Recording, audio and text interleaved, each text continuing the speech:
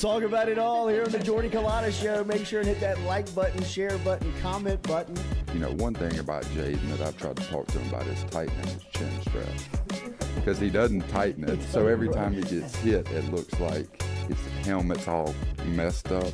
And it's like, oh, God, he just got rocked.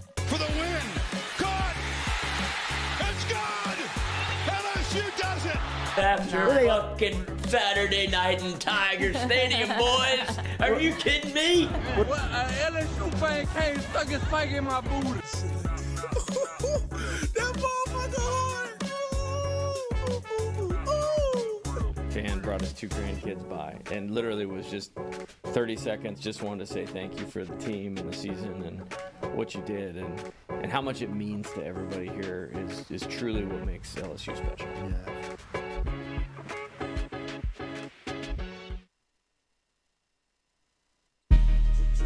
Kelly, we're official. Finally. I'm Get a telling you. chance to meet you. Thought I had to get a private audience with the Pope. It's just, it's Jordy. Monday through Friday from 7 to 9. Yeah, you see the notification. We about to go live. We got all your favorite guests. We got them in line. It's the Jordan Culotta Show. And you Come have a started good time. tearing up answering the question. And I thought, my God, if she gets offered this job, she's going to take it. It's just a crazy, fun time at LSU right now. Isn't this what everybody loves? From the boot to the east to the west coast. No matter where we at, we live. Open up the phone lines. Come and join the show. Make sure you tell your friends about Jordan Culotta Show. Yeah. Let's go! Let's go! All right. Nice start. Big day. Nice start. It's the Jordan Culotta Show. Come have a good time. Coach, it's great to meet you. Thanks, Thank you for the time.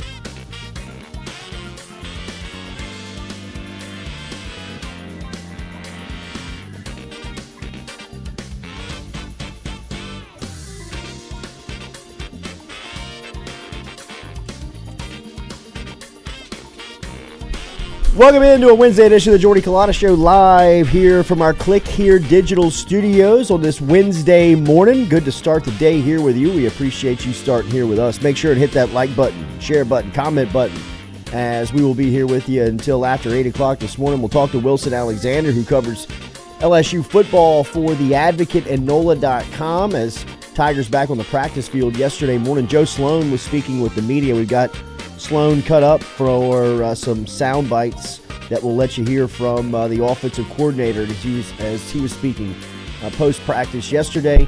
Tons to get to. And remember, Daily, we're brought to you by our friends over at RMB Builders. Rhett Bourgeois and his crew builds us every single day. Custom design homes. If you need any handiwork done around the house, if you're doing some remodeling work, whether it's in the office or at the house, residentially and commercial uh, licensed is Rhett Bourgeois. RMB-builders.com is where you find him. And then uh, on social media, you can hit him at RMB Builders. Great Instagram page uh, daily. Our phone line is brought to you by our friends over at Southern Regional Medical Center. Charlie Harvey, Jason Ramazan, and the entire crew over there. We always appreciate and love those guys. Find them on Facebook uh, over at Southern Regional Medical Center. And remember, Mr. Funds Travel is already putting the trip together to, uh, to Vegas uh, for LSU USC. So if you're ready to start planning that trip uh, and you need tickets, air accommodation, hotel accommodation, travel to and from the game, Uh, get online at MrFunsTravel.com. We'll see. We'll see. We'll see. We're still. Uh, we'll Look, see. We'll see. so Big make it- plans. I got. I, we got. We got. We got a, a- a ultimate plan. Then we got you know some Contingency fallbacks. plan. Right. Right. right. We're still trying and shooting for the big plan here, boys. Uh, if the big plan comes through, uh, buckle up. Uh, all right, so uh, Jordy's as we scared to said, fly again. RMB, That's all it is. ba- no, we'll, we'll, we'll jump on a plane for that one. we'll get back on a plane. Uh, I'll put my hat back on. I'm all right. I'm all right. I'm all right. Got still have some, still have some nightmares from that flight though. the best thing is the two were alone in there. Just I guess Oh it's my just me. god, dude! I talked to the pilot yesterday. It's just gonna be me and you. It's just That's me. right. It's just me. I mean, it was would've supposed to be. thought? That's what I told him. It was supposed to be like this. We dropped everybody else off. I mean, It was destiny. I mean, I really hate flying. I mean, Captain it's just, going down yeah, with the right. ship. It's supposed to go Oh, down Captain, like my this. We're over the My Gulf of. Mexico. They're not gonna find us. It's over. I mean, you know, Right over even if you can put this thing down, we're spending the night out here, bro. We're shark bait. oh my god! It's over. I mean, ugh. How do you shoot a flare Um, gun? All right, so I'm a little confused on this Mulkey and LSU women's basketball stuff. Is she is she MAGA or is she liberal? Because two days ago she was Trump's vice president nominee, and then today she's leading the liberal news on on social media. I don't get it, right? And just with a little bit of homework here, I mean, it really doesn't take a lot of effort. And for the people out there that are that are gas bagging this this topic on the national anthem and LSU, I mean, it, it is.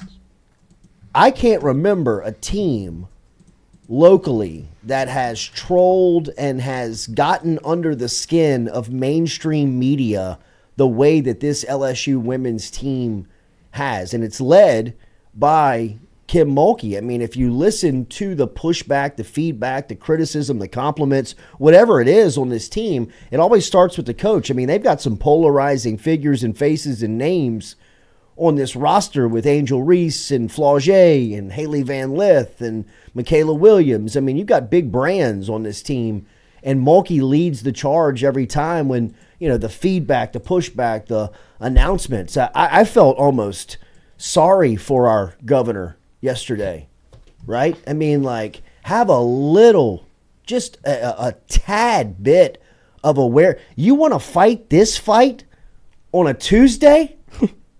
I mean, like, you want to put this when all you got to do is just ask around, like, hey, what's the deal on the the anthem thing? Yeah, well, they've been going in for for two and a half years now. I had been on a had been on the floor for an anthem in over over two years, Gov. Like, let's get back to policy and working and whatever you're trying to do down in New Orleans or clean up the state. You know, fix the roads, fix the crime worry about what's going on with the one of the most popular teams that the state has. You want to go after them? I mean, like, really, who on your team was like, yeah, that's a great idea. Let's put it out on social media?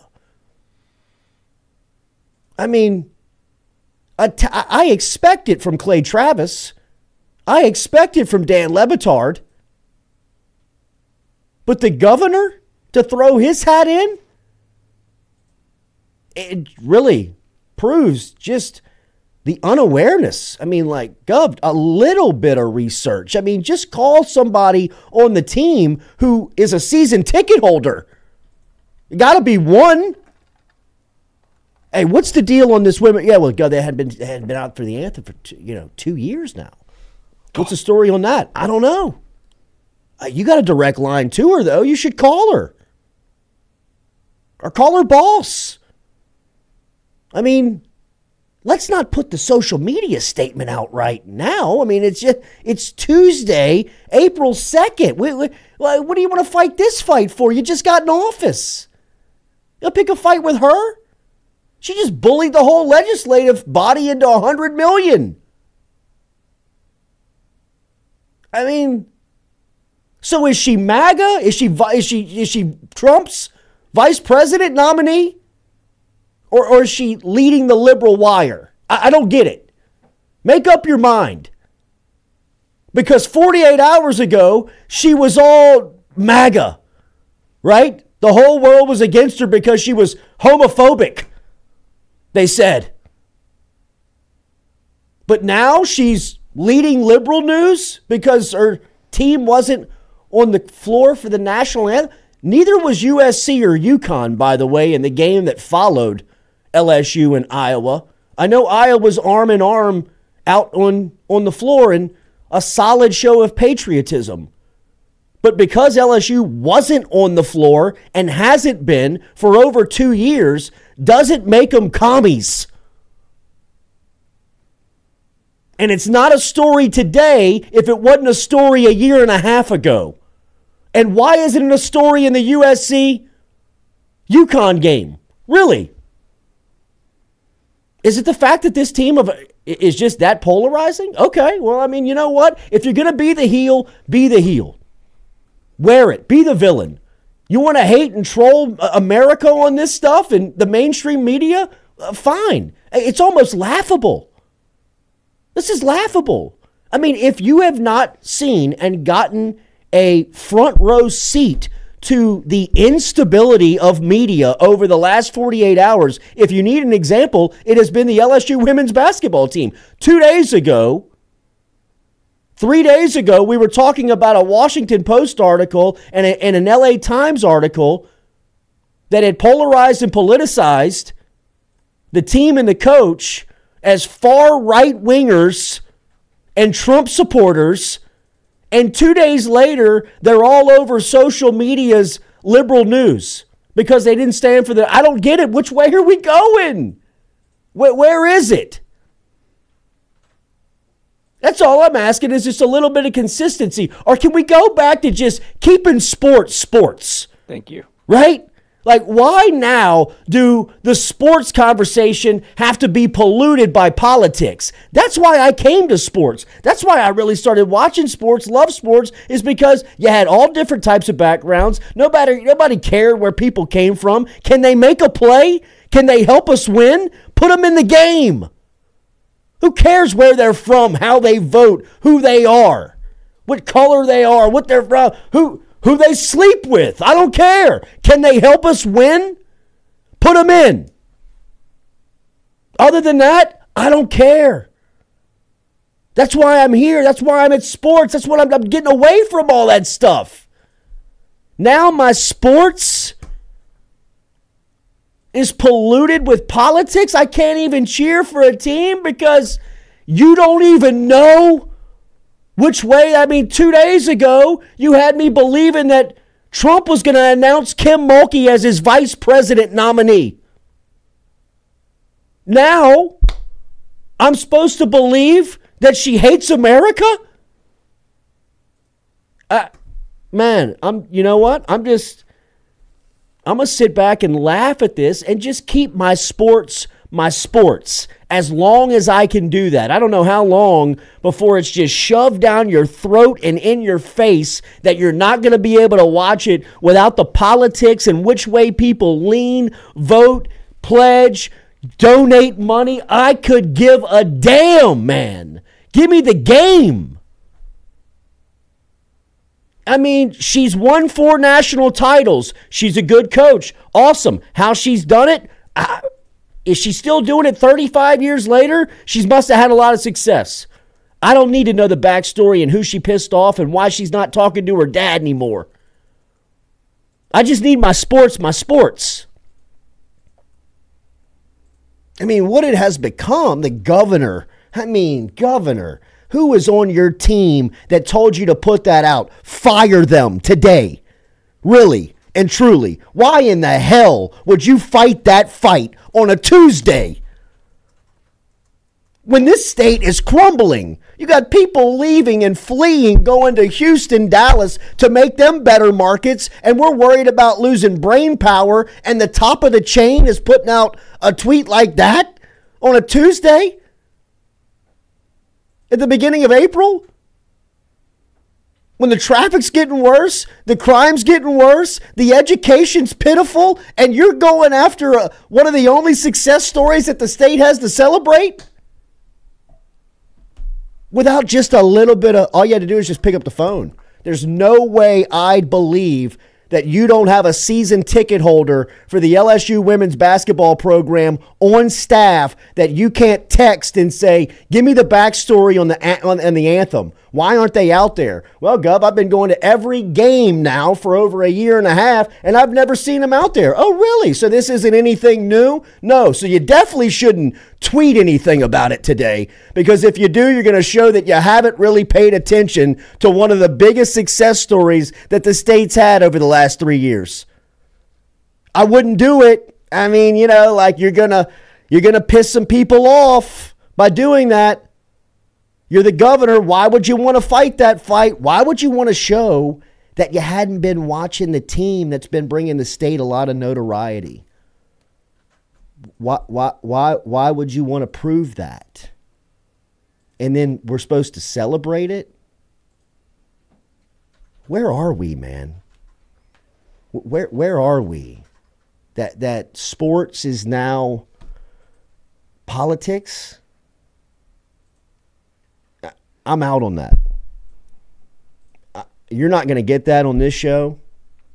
I'm not. You're not going to ever know where I'm leaning, where, where my politics are, because it's it's it's not it's not for here. That's not why you came here. We we came here to talk sports.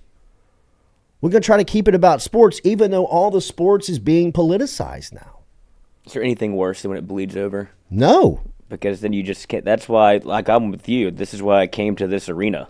It's to get away from all of that. Like, I couldn't give two hoots about politics, and they always somehow. There's always a national story or some sort of story that bleeds over into patriotism and sports. They're two separate things. One's sports, one's politics.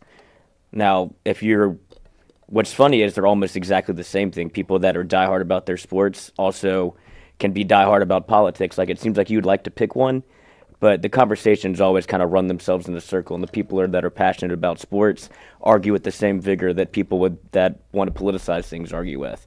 Like the governor, like Jeff Landry, is now he's telling universities to put a policy in place that requires their athletes to attend the national anthem or risk losing their scholarships. Like I don't think you can do that, but go off, King. Like Yeah. it's so Uh, Charles County matters. Charles County matters. Jordy, you've had interaction with politicians on this show. We have, we have. We've kept it a lot about sports, but we've also recognized our platform and used it as a place for people to send a message. And some of those, full disclosure, have been paid ads, paid spots for people to be on this show. I mean, that's how we make a living is off of advertisement and selling that. So I'm not going to hide behind it. And if somebody wants to buy advertisement on this show, they can without question have a seat. And this has, I've always said, open to any and everybody who wants to talk sports. If there's a sports angle to it, you've got a place here. And the people that we've brought through here that have outside interest that we've been interested in hearing about, some have been politicians, but it's not necessarily how and where we voted, how we leaned, or if it was, we didn't tell you so. You know, like we're doing this, so you have to. Was it a, a you know an endorsement from us? So you know, I mean, I I I appreciate your your interaction. Um, so I mean, you know, look, I, I just think, and, and again, like I said, we're not going to talk about it, and you know, we're not going to make this show about politics. I just thought it was very unaware yesterday, and, and I thought again, like, what? So what's the deal on Mulkey? The the program is it? Is it wh- which side is it? I, I don't get it. If if you're gonna politicize it and you're gonna make it about it, make up your mind, because I mean it's it, it- it's it's hard to keep up at this point, right? Remember our friends over at Barker Brothers Plumbing and Works, Barker Brothers Plumbing and Works, with a couple of locations uh, over in Plaquemine that you can get in touch with directly, Jude Barker and his crew, just by calling 225 776 2431. You mentioned the show, you save 15% on any service that you get from Barker Brothers Plumbing and Works. That's commercial and residential plumbing. Uh, trusted Jude Barker, great name within plumbing circles, wherever you are uh, whether we say commercial or residential, a couple of trucks, East Baton Rouge Parish, uh, every single day. Uh, you can find him there at Barker Brothers Plumbing and Works. Uh, Mark Cumby asked, Jordy, when's Mulkey coming on? In fact, we were texting with her uh, this morning asking uh, to, uh, to reserve some time. And she's going to get through this week. There's a big day, big announcement today. You'll find out uh, about Angel Reese and Hailey Van Lith. And you know anybody else who who has a decision to make on on what the next steps will be for for them in, in purple and gold at LSU. Uh, and obviously, I think you want to just kind of decompress a little bit this week, maybe exhale uh, from the season, and, and, we'll link back up and, and have her back through um, next week. So, uh, you know, we'll find out today. I, I, don't think that the coach knows. Um, and, you know, I think she's kind of waiting to hear, just like we all are, right? I mean, there's been some conversation, but I don't think that there's anything that's been definitively said, you know, one way or another um, that that she knows going into the decision. Um, I will say this: if that is the case, remember what Frank Wilson told us on this show a couple of years ago. I think it was last year going into the season. He said, "Look, if if they get to the if they get to the announcement, and you're 24 hours out from the announcement, and and you don't know, you're probably not the guy. You're probably not the choice, um, or not. Take take the probably out of that statement. You're not the choice." Um, I don't necessarily know in a situation like this. This is very different. This is an outlying situation, right? I think that um, Angel Reese, for the most part, knows where she fits in on the team. Right? I mean, it's not like you're going to go to the coach and be like, look, if I come back, what's the deal? Like, if you come back, we're going to build the whole thing around you again. You know, I mean, like you're going to be the you're going to be the centerpiece. Um, I, I don't think she has to be told that right? I mean, it wasn't like Shaq had to be told that his junior season to come back. I mean, it was very well understood. Like, you know, Diesel, you come back. I mean, here's the keys. You know, like the whole thing's yours. Um, yesterday, I was, I, I was, I, I, was saying that I, I, believe she comes back today. I, you know, it's fluid situation. I mean, it's either way. I, I, don't know, man. I, I, I don't know how to really feel, you know, one way or the other. Like we said, I think the money is a topic, and the NIL and the money travels. Whether she goes to the WNBA, whether she stays in college basketball, Angel Reese is going to make a lot. Uh, she's going to make a really good living. Um, you know, it's probably going to if if there's a difference to it, it might be a couple of you know tens of thousands of dollars, and and to a lot of people that's a lot of money. But in this scenario, it's not something that I think would make you say, "All right, let's go," because you know we'll get an extra fifty thousand if, if we go to the WNBA. Um, so I, I think that the money, for the most part, is kind of a wash, right? Like I mean, like you kind of like look at it and say, "Yeah, I mean, if you go, you get money. You stay, you get paid." so it comes down to the basketball part, right? I mean, I mean, I'm sure that there's some off the court stuff that you look at with a with, with, with a you know uh, a character and a personality and someone that that has that type of push and you know steam behind her. But you know, for the most part, I mean, it really I think comes down to the basketball. And I think if you're Angel Reese, you look at a situation where you say, I mean, if I left today and if Angel leaves today, I really believe that she's an all-time great at LSU. Like when it's when it's all said and done, when you have a chance to kind of like step away from it, look at what she's accomplished over the 2 years that she's been here in Baton Rouge. I mean, she's the SEC player of the year. She's won a national championship.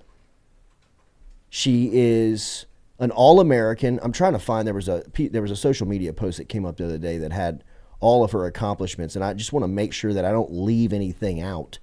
But as far as decorated, and as far as you know, a player that comes in and leaves behind a, a legacy, I'm not sure if there's any more that Angel Reese could do. Um, you know, I mean, just from what she's accomplished in the in the time that she's been in in college basketball. I mean, I'm sure while she was at Maryland, there are some things that that she's accomplished that she's very proud of. Um, but you know, I mean, you talk about winning a national championship, and and really, you know, being the leader of Kim Mulkey's, you know, first push of creating success as LSU women's basketball coach when you think of the early days of of Mulkey's reign here in Baton Rouge, you know, a lot of the faces that you'll see, a lot of it'll be built around Reese, right? It, and then that, that's if she leaves today, right? I mean, everything that she's accomplished All American, SEC Player of the Year, Defensive Player of the Year, National Championship, Elite Eight this season. I'm sure she'll be a unanimous All American this season. Yeah, she was just named to the Wooden Award All American team. So I mean that you know, if she leaves today, I think if you hang Sylvia and Seimone's accomplishments in the rafters and numbers in the rafters, I think you got to make room for number 10 at some point. If she came back, she could she could live in a planet that, you know, she's flirting with now that only a handful of Seimone Augustus, Tyrann Mathieu, Joe Burrow, Billy Cannon, Kevin Faulk, Glenn Dorsey break through to. Right? Where it's just, they'll never pay for anything in Louisiana ever again. You know, outside of like, you know, real estate and businesses. But I mean, as far as like meals and hotel room and comps, I mean, like those, they, they, they live on another planet. And I think Reese could come back and, I mean, be a legitimate all timer. I mean, you know, if like she a, isn't already, right, right, I and mean, I believe we- she is. Right. I mean, like I believe she lives on a on a stratosphere that very few do from LSU athletics.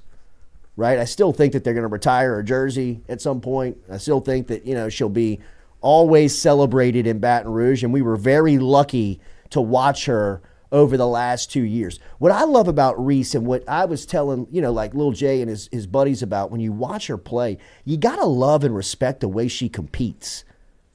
You know, I guess when we were, and, and, and, you know, I mean, I hate to be the old guy here, but I mean, just when we were coming up, that's what competition was. Like, people hated each other. You know, I mean, like, for the most part, the Pistons hated the Bulls. You know, I mean, like the Saints hated the 49ers. That that's that was the age kind of that was the that that's what really kind of sports was to me was, you know, like heated dis, dis you know, just dis, despising the person against you. You know, we came up in a generation where boxing was still a little it was still prominent right? Where you still had Tyson versus Holyfield, Tyson versus Spinks. I, I don't know, pick one. But, you know, I mean, you still had that type of one on one type of almost primal type of competitive spirit to it. Reese has that. Reese has the, you know, I mean, after she got one of those, and, and it's not just about the antics and the emotion. I mean, a lot of a lot of players have that, but where she gets it and where it comes from, you can see is just so genuine. I mean, I thought that shot of her the other night that the ESPN ABC cameras caught when she was walking off the, the court and she told Mulkey into, you know, not disrespectfully, but I mean, just in a competitive, like, get me the effing ball. And, and you know, she was right. And it's not just about that, it's just about the way that she wills the team and competes for for for the entire game. I, I just she has without question got my respect from a competitive standpoint, which is, you know, how we were introduced to Angel Reese. Right? I mean, you just got to know her and watching her play basketball. Throughout watching her for 2 years, you've grown to know her personality and, you know, you feel how you feel about her. I love her. I think she's great. I think she's great for the game. I think she's great for LSU. She represents the brand great. I mean, she's the first, in my opinion, she's the first real case study of NIL. Right? Like the first real NIL athlete that LSU has had. Stop me if I'm wrong, but I'm just trying to think this thing out loud and I'm thinking on my feet here of the last three years of the the the amount of talent, the the, the Dylan Crews, the Jayden Daniels, the Angel Reese that has come through here, Reese was the one that really felt like she capitalized on NIL more than any of them. And I'm sure they all did well, right? I mean, I'm sure they all left college with a lot more money than they showed up with. But Reese was a real NIL commodity in between her sophomore and junior season in college at LSU. Whether it was in the Sports Illustrated swimsuit issue or whether it was just being on Team USA or a part of that. She was always around the discussion of college basketball and how one player could make money off of it, and she made a lot of money. But she's also a study of can it work? Because if you rewind the tape, and we were in this exact day last season, you know, the weekend before Angel Reese's life changed, right? I think we all knew kind of going up to this weekend that there were going to be a something different happen right? Either you know, either way, either you win it or you lose it, and somebody was going to be at the center. Angel Reese was the MVP of the game. She was the one that made the big plays. LSU won the game. She got caught with the celebration on national television. I mean, she was the one where her brand just exploded. I would really argue for the the weeks and maybe a month or six weeks after that game, you could argue that Angel Reese was the most the most popular athlete on the planet. Like there wasn't anybody on any social media feed that didn't see, hear, know about Angel Reese. They did a Saturday Night Live skit on Angel Reese. Okay, that's pretty. You know, you're you're into pop culture if they're doing Saturday Night Live skits about you. You're in the mainstream. People are talking about you. People know about you. There's no way I would have been able to handle that for a second year. There's no way. If I was 19, 20 in between the window of 18 and 21. She's the first case study that got pretty much all the money and handled it. Well, she was suspended for two games. Okay. I mean, like, all right, I expected. Like, I remember remember when all that stuff was happening. Weren't we all like, well, you knew this was going to happen, right? I mean, you, you know, at some point, you give her all this money, you give her all this freedom, you give her all this this this, this attention. slack and attention. She's gonna, she's too young to handle it. Bullshit. I mean, like, she spun that story on its face and put LSU on her back with her wallet fat and carried them to a, a couple of plays away from a Final Four again. I mean, to me, she's a great case study of can they handle it? What happens when we do give them the millions? I don't know. You can look at Angel Reese. She had her team a, a possession or two away. I mean, she fouled out with five minutes left on a charge that was bang, bang. You know, I mean, if she's on the floor for the last four minutes of the game, who knows what happens? But one thing's for sure is that she handled her business while her bank account was growing. And that was one NIL concern that I always had going in. What happens when you start paying them? Like what happens when they're, you know, when they when when they, you know, she pulls up to practice in a Mercedes and she's got an NIL deal with Amazon. I mean, like, what do you do? What do you do? She's still going to get you a double double every night. She got you a double double every night. She's a walking double double. I mean, to me, I know I was proven wrong, not just on the Angel Reese story, but just on the are they going to be able to hang and, and, and compete at that level when they get when they get the money? Well, Angel Reese did. That's for certain. And I, I think in an early period of NIL, there's got to be case studies happening, right? You got to be like looking at like all types of studies once the the landscape and environment has changed so so drastically like it has with NIL. Angel Reese is a, is a success story in it, whether she comes back or not. I mean, she's proven she can handle it. So if her bank account grows by two million next year, I'm not worried about whether or not she's going to go out and get me a double double. I mean, she was the best player on the floor on Saturday. Uh, On, on you know on, on, on the UCLA floor. You know, I mean, outside of Caitlin Clark going Caitlin Clark, Angel Reese was Angel Reese. So, selfishly, I hope she comes back.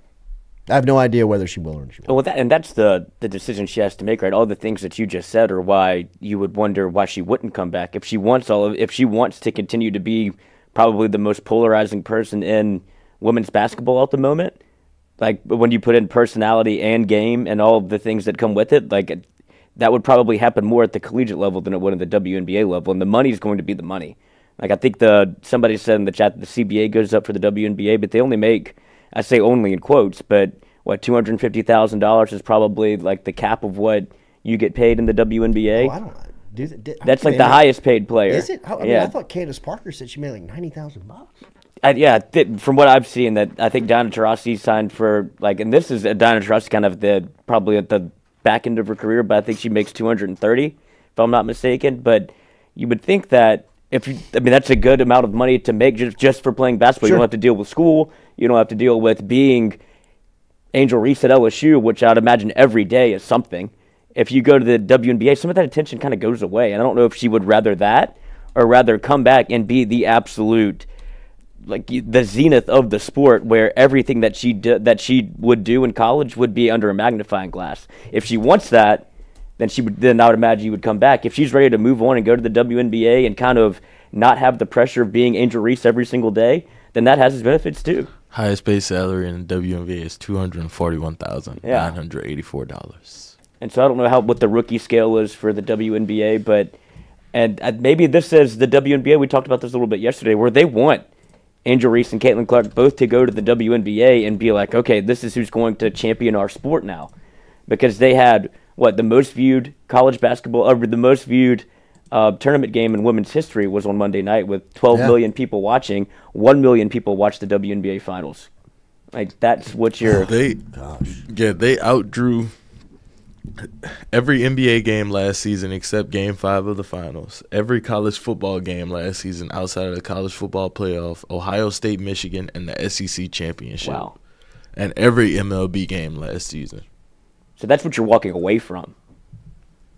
And I don't know if, if that like I don't know what appeal the WNBA really has if you want the because it could just be her really like there's going to be other stars that come out of college basketball but Angel Reese would live on a planet by herself if she came back and Caitlin Clark was in the WNBA. I mean, don't they fly commercial?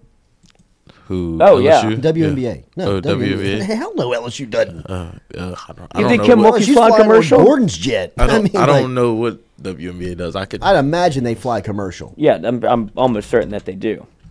It's I'm saying you're almost taking a kind of you're changing your lifestyle for certain, and I don't know if she thinks that maybe if she goes to the WNBA, like she can help Yes. pioneer the sport. They fly a commercial. Yes, they I mean, you know, primarily fly a commercial. Yeah, it's, it's on almost your like flight from Nashville to Detroit, you'll be sitting next to Angel next season. Go tell her that today. You Right. know, like I mean, Hey, Angel, how you doing? two o'clock on a I'm Tuesday. gonna go sit next to some mouth breather and want to know why you didn't box out Caitlin Clark last year. Well, I didn't put you on Caitlin Clark? I've been meaning to ask you, old Angel. What y'all do during that when? What happened to that Elite Eight game? And why were y'all not out during that national? yeah, uh, you national gonna stand anthem? for the anthem on this plane? yeah, right. I mean, what y'all doing in that locker room? All right, remember Daily are brought to you by Geaux Roof, online at geauxroof.com. Geaux Roof Daily, res, uh, whether it's residential or commercial roofing needs. They got you taken care of over at Geaux Roof. Get in touch with them, 225 927 8300.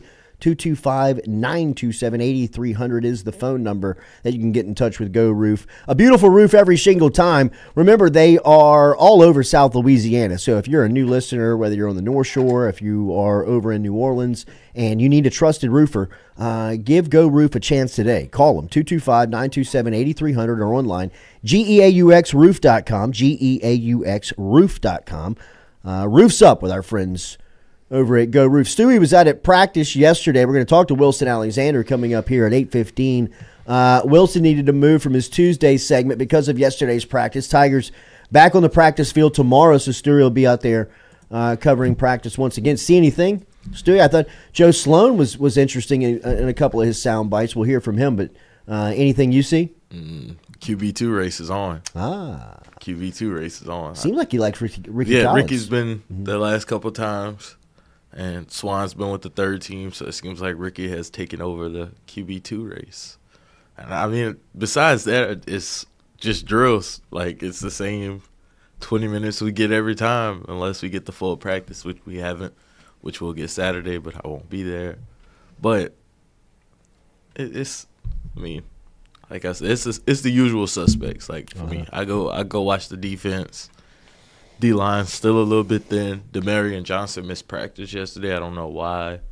I saw him before leaving the facility. Emery Jones back running with the ones. Yeah, Emery Jones is back with the team. Uh, the guy that everybody is talking about is Tyree Adams. Like Really? behind Will and Emery, like that's the next Left that's tackle? the next man up. Yeah. And so DJ Chester coming in, and he's going to play. I'd imagine be your center. Yeah, coming in that's- because Sloan talked about him a good bit yesterday. But Mhm. he's coming into a new position. Like I say, it's hard to play center, but Chester got kind of thrown into the fire last year He whenever you needed him, and you really couldn't tell the difference. So I think that that's a that's a strength going forward. I'm interested to see what they do with the portal because, like you said, the defensive line continues to be thin, and it's not like you can do anything about that now. But could you say there's any tangible difference between watching the defense last year and this year? Yeah, a lot, a, a lot of difference. It's you could tell the how much the players are in tune with the coaches. More Like, it- engaged. More engaged. Like they ask questions. The coaches kind of coach them up when they know they need coaching points. Like it, it's it's very refreshing to see for sure. They said that Baker and Perkins are tied at the hip. Yes, like every like every linebacker drill, you could tell he emphasizes Perkins doing everything right, like all the little things they were working on, shooting the hands yesterday and getting through blocks. And Perk went a couple times just so he could get it right. How is um, Greg Penn? Greg Penn looks Greg Penn reliable. Just you know, a senior, been here a while, knows how it works, knows how college works. seems like he's teaching the young guys how to practice, how to you know, Because they got a lot of rookies out there. Yeah, right? they got a lot of like, especially in the linebacker room. Right. So he, it, Greg Penn's the leader of the room. Like he's the leader of the pack. He's always first in every drill. He does everything right. Blake Baker's always giving him a good compliment at the end of it, like "Good, Greg." You know, like so, you know what you get from Greg Penn. Uh, any questions here in the chat? Obviously, one's about defensive line. Uh, defensive line just very thin right now, Very, right? very thin. I mean, what you got is what you got. Like what you see is what you get. I, I'm kind of interested to see what they what Kimo does. The Uh-huh, the offensive, offensive lineman lineman. turn defensive lineman, just because have to play. Right, he's gonna right. He's gonna have to play one, and then like just the. I, I don't know. He just seems like a guy that would be able to do that. I don't. know. I don't know if that makes sense because I have not seen him really play, but I just he just seems like somebody that you know he's been at LSU for a while, probably itching to get on the field somehow, and now he gets a chance to play defensive line, and he he doesn't look like a slouch, you know. He played both in high school. Right. So Is Geo here yet from Wisconsin? When does he get on campus? The defensive lineman that Um, they that's a good question. That's I a would good think question. he, probably summertime. I don't think he could like Yeah, enter. he's probably got to close this. He's got to probably got to close the semester. Mhm. Um, they've had some recruits at practice. Yes. Right. Uh, is there Jabari An- Antoine was there. Jabari Antoine and uh, cornerback. I, I I I do not know how to pronounce his name, but he- yeah, he's Yeah. he was there. Seems like Jabari. Conan Banny? Yeah, it seems like Jabari is recruiting him to you know I think he's from South Carolina. make his commitment. Uh, somebody's asking about the Weeks brothers. The Weeks brothers are your second team linebackers. Like, that's that's the next group up. I, they look good. They don't look. I mean, you know what Mm-hmm. you get from them too. So it's Penn, Perk, and who would be the third backer? Are they just running two? It's two, and then they have the Weeks. the start, the star position, which is Major. Oh, Major Burns. Burns walked down. Yeah. And then they put Sage at safety. I saw that he was on social media. They had a little pick six of Sage. Which Mm-hmm. That was that He's was had a really good that was, camp, yeah. huh? Yeah, that was spring. I mean, no, that Saturday. was the, the yeah the Saturday practice they were that we got outside. to watch. But I mean, yeah, Sage Sage looks comfortable. He looks like he's playing the position that he was recruited to play. Yeah. Finally. Yeah, Yeah, finally. right. Um, and then some of the youngsters, right? PJ Woodland's having a standout camp. Mm-hmm. Yeah, you, you could tell Corey Raymond like he, he he loves he loves PJ Woodland, but he's coaching him hard to where he's Yeah. he's showing him you know like this is the standard and you you keep the standard every day. But yeah, PJ Woodland's one. Uh, in the safety room, you got Deshaun McBride, Kylan Jackson, uh, Jordan Allen. Like they, the safety room is the, is the room I'm Yeah. I'm really interested to see what they do just because you have Jardin Gilbert and Sage, but you also have some young guys that you could probably work in during like just during the season, just because of how much talent you have in the room. Uh, all right, Joe Sloan was speaking with the media on uh, on Tuesday. Uh, here is Coach Sloan's opening statement yesterday. As we'll just roll down the list here, Stewie, because a lot of good uh, good tidbits and sound bites here from Joe Sloan, new offensive coordinator alongside Cortez Hankton. Uh, here is Sloan uh, introducing himself yesterday to the media. just seeing a lot of growth, right? I think, you know, the big thing coming into this offseason was about developing our identity as an offense um, and really trying to start that from inside out. Right? Every, everything's got to start from inside out, from the offensive line out to the perimeter. Um, and we want to be known as a physical football team that's explosive on the perimeter. And I, I think as you as, as we watch throughout spring practice, a lot of those things have been showing up. Um, getting a little more multiple in the run game uh, co- compared to maybe how we were the last couple seasons, right? With uh, just some different personnel. Um, and I think our guys have really taken to it and been paying attention and trying to continue to get better and better and better. And I think we've seen the improvement. The big thing now for the next couple weeks will, will really be about our focus and attention to detail and kind of finalizing a little bit of who we are from a consistency standpoint, play to play. Um, and what we want to be known, you know, what we want to be known for, uh, just as we head into the uh, into this next little piece of the offseason. But I'm excited about where we are. Where we are, I think, man, there's just been some guys. We have we have some really good leadership. Um, from some of our older guys, I mean, you look at uh, at Will and Emery, but really it goes across the across the O line. I think um, you know, Deli and Miles right now have been playing their best football, and uh, DJ really has, I think, taken on the, the vocal piece of center, um, which has been really nice to see. But got some younger guys too who are challenging those guys.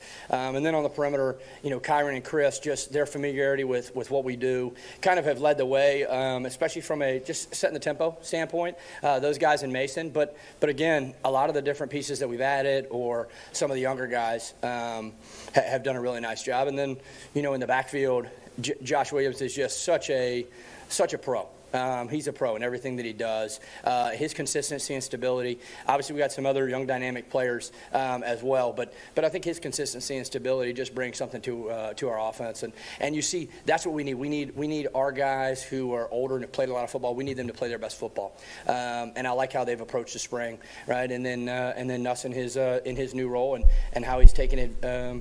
Kind of taking it head on. Um, so, so many good things to talk about. Definitely need to make some improvements, right? We're not where we need to be, uh, but we're definitely not where we were. So, uh, a lot of good things up to this point. Uh, good opening statement there from Joe Sloan. Obviously, you can feel the security that an offensive line brings a play caller. I mean, what a great luxury to have in year one as the primary or, or as a, a play caller with LSU uh, of knowing that you've just got these mules in front of you that are going to be first round picks and guys that are going to be pro prospects that are all along and littered across the line. But the most uh, you know luxurious part about all of them is that they're veteran, the experience. I mean, they're smart, they've seen it, they've been there. You know, outside of DJ Chester, who played limited last year towards the the back end of it. I mean, you've got guys like Garrett Dellinger, who's logged a ton of snaps of, of college football. Will Campbell now is is a you know a savvy veteran along with Emery Jones, uh, even even Frazier. You know, I mean, who's played some big time football at LSU now. And shout out to Frazier because he's always been the one that you thought was going to be the the loose piece that Yeah. was going to get his job sniped. And I mean, not only is that room deep and talented, holding your position is difficult because you gotta you gotta bring it every day. I mean, they got guys behind you that if you slip, I mean, if you give a little bit of ground, your job's in jeopardy. And I thought Frazier was was the one that they would kind of like try to filter out after last I season, know. after the start the Florida State game, and then the guy said the thing after the game where one of the linemen told him they were good, and they said it was Miles Frazier, and it, it just seemed like at some point he was going to be the one Right. that, that was going to be the eye man out, but he held his own, and he's He's held a starting position for what? Th- what is this? His third year starting? Third year. So I mean, I think if once he got past the the Emery Jones inside, Lance Heard outside battle, he was kind of in the Mm-hmm. In the clear. clear, yep. I mean, that was what they wanted to happen. They wanted Heard to be the right tackle. They wanted Emery Jones to be the right guard. They wanted that to be their offensive line. And shout out to Miles Frazier. He he he handled it, man. And he he held his job, which is a very difficult task to do. Um, you know, when you're talking about this LSU team. All right, adding Slade Nag, uh, or excuse me, this is his relationship with uh, Cortez Hankton, uh, co-offensive coordinator. Of course, Hankton, uh, LSU's primary wide receivers coach in the wide receiver room. Uh, you know, just pumping pros out and bringing pros in. Uh, here he is talking about the relationship with Hankton. Yeah, I think, well, I think we have an unbelievable offensive staff. Um, and, and Cortez, you know, everybody sees his development at, uh, at the receiver position um, with the way last year, you know, obviously that uh, Malik and BT played and right and, and how now they're going to go on and obviously be first round draft picks and, and kind of what they did from a development standpoint, as well as Kyren and, and Chris and the, and, the, and the growth that those guys have had. I think what people don't see is um, his ability to game plan, his ability to understand how to attack defenses in the passing game. Um, and, and he was doing a ton of that last year. You know, that, that's that's not that's not anything new. Um, and I think then where you know just with with our new roles and, and his growth and just tying back in as well more into the run game perimeter game, whether it be from an RPO standpoint or whatever that might be, um, and just his involvement there. We, we have an awesome working relationship. I knew Ted when he first got done playing in the uh, UFL, not this UFL, the old UFL. All right, and he came over. I was a GA at South Florida, and he came over, and he and I met. Um, he was he was trying to start to get into coaching. He and I met. We stayed in touch for a long time. Almost worked together a, a couple other times, and just our relationship together, I think, is a really good working relationship. We keep each other. Um, keep each other centered, right, and and play off each other really well. But there's a ton of respect there, um, and I couldn't be more excited about just uh, how things have gone up to this point, but but how things have gone over the last couple years um, with with our ability to work together. More from Sloan. Here he is, and that was a good soundbite talking about their worker, uh, the working relationship uh, with he and Cortez. But here he is uh, talking and speaking more uh, about uh, new offensive additions, including Slade Nagle, who I think is going to be a real key component here to the offensive staff and a nice addition. You know, I think, it, and Coach Kelly talked about this first when um, when he made the decision to uh, to hire myself and, and and Cortez and just in our elevated roles, and talked about just really when we wanted to add a tight end coach in terms of somebody who had call plays before, somebody who understood how we put uh, all the things together from an offensive standpoint. I think what Slade did at Tulane for the last couple years uh, speaks for itself. I mean, they went to the Cotton Bowl, beat USC, right, and and do it, did it running the football, did it a lot of different ways, um, and I think he brings a ton of value um, to what we're doing and how we're trying to expand our offense um, and do do some different things and a variety of things. I think that match our our current personnel and the personnel we will you know we'll have in the future, right? That's what we always want to do. Uh, but his ability to do that, he's been a football coach a long, long time. Um, I've known him shoot, uh, since I first got in the state. Um, he was at McNeese, I was at Louisiana Tech, and we were both recruiting down here and, and been uh, friends a long time. The relationship that we have, the honesty that we can have back and forth, um, and that he can have amongst our staff, right, with he and Cortez and myself and, and really everybody in the room. Uh, but he th- brings a huge value from a, I think, a development standpoint of the tight ends and just his coaching ability. But, but on top of that, his ability to help in terms of formate things and make sure we're attacking people the right way, especially when it comes to the run game. Good addition on Nagle, really, when you're talking about familiarity with the state, his ability to recruit, obviously his time as a play caller, uh, very organized. He comes from a family of coaches. His dad is a coach uh, who's on the Zachary staff with Coach Brewerton. I mean, he is, uh, I, I believe, one of the uh, really solid pickups by by Brian Kelly in, in the offseason and a key addition, I think, to the offensive staff. Somebody who's going to really help out um, from just the offensive standpoint, especially with the, the the emphasis on running the football this year. I mean, you're talking about a guy who very much understands and is familiar with with run styles, splits, and um, you know just effective running. Felt like the uh, perfect coach. perfect fit. Yeah, right? really Like, good fit. Everything that you were looking for, you were able to find in one guy. Where you wanted somebody that had play calling experience, and you had a position of need that you. I think there's going to be a lot of emphasis on the tight ends this year, and then you add somebody that has not only been a play caller, been successful at it, and now you have another kind of guy that can focus all of his attention on a tight end room that should be booming this year. Yeah, here he is specifically talking about that tight end room. Yeah, I think, well, Mason Taylor is one of our best football players. Um, he's, he's an excellent football player. People know him, right? Uh, LSU fans know him uh, for the last two years, and just his consistency and his ability to make plays.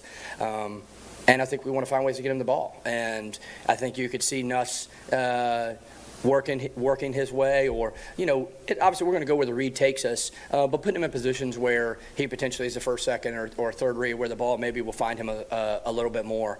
Um, but I think, you know, just from a consistency standpoint and uh, an experience standpoint, he obviously brings a ton.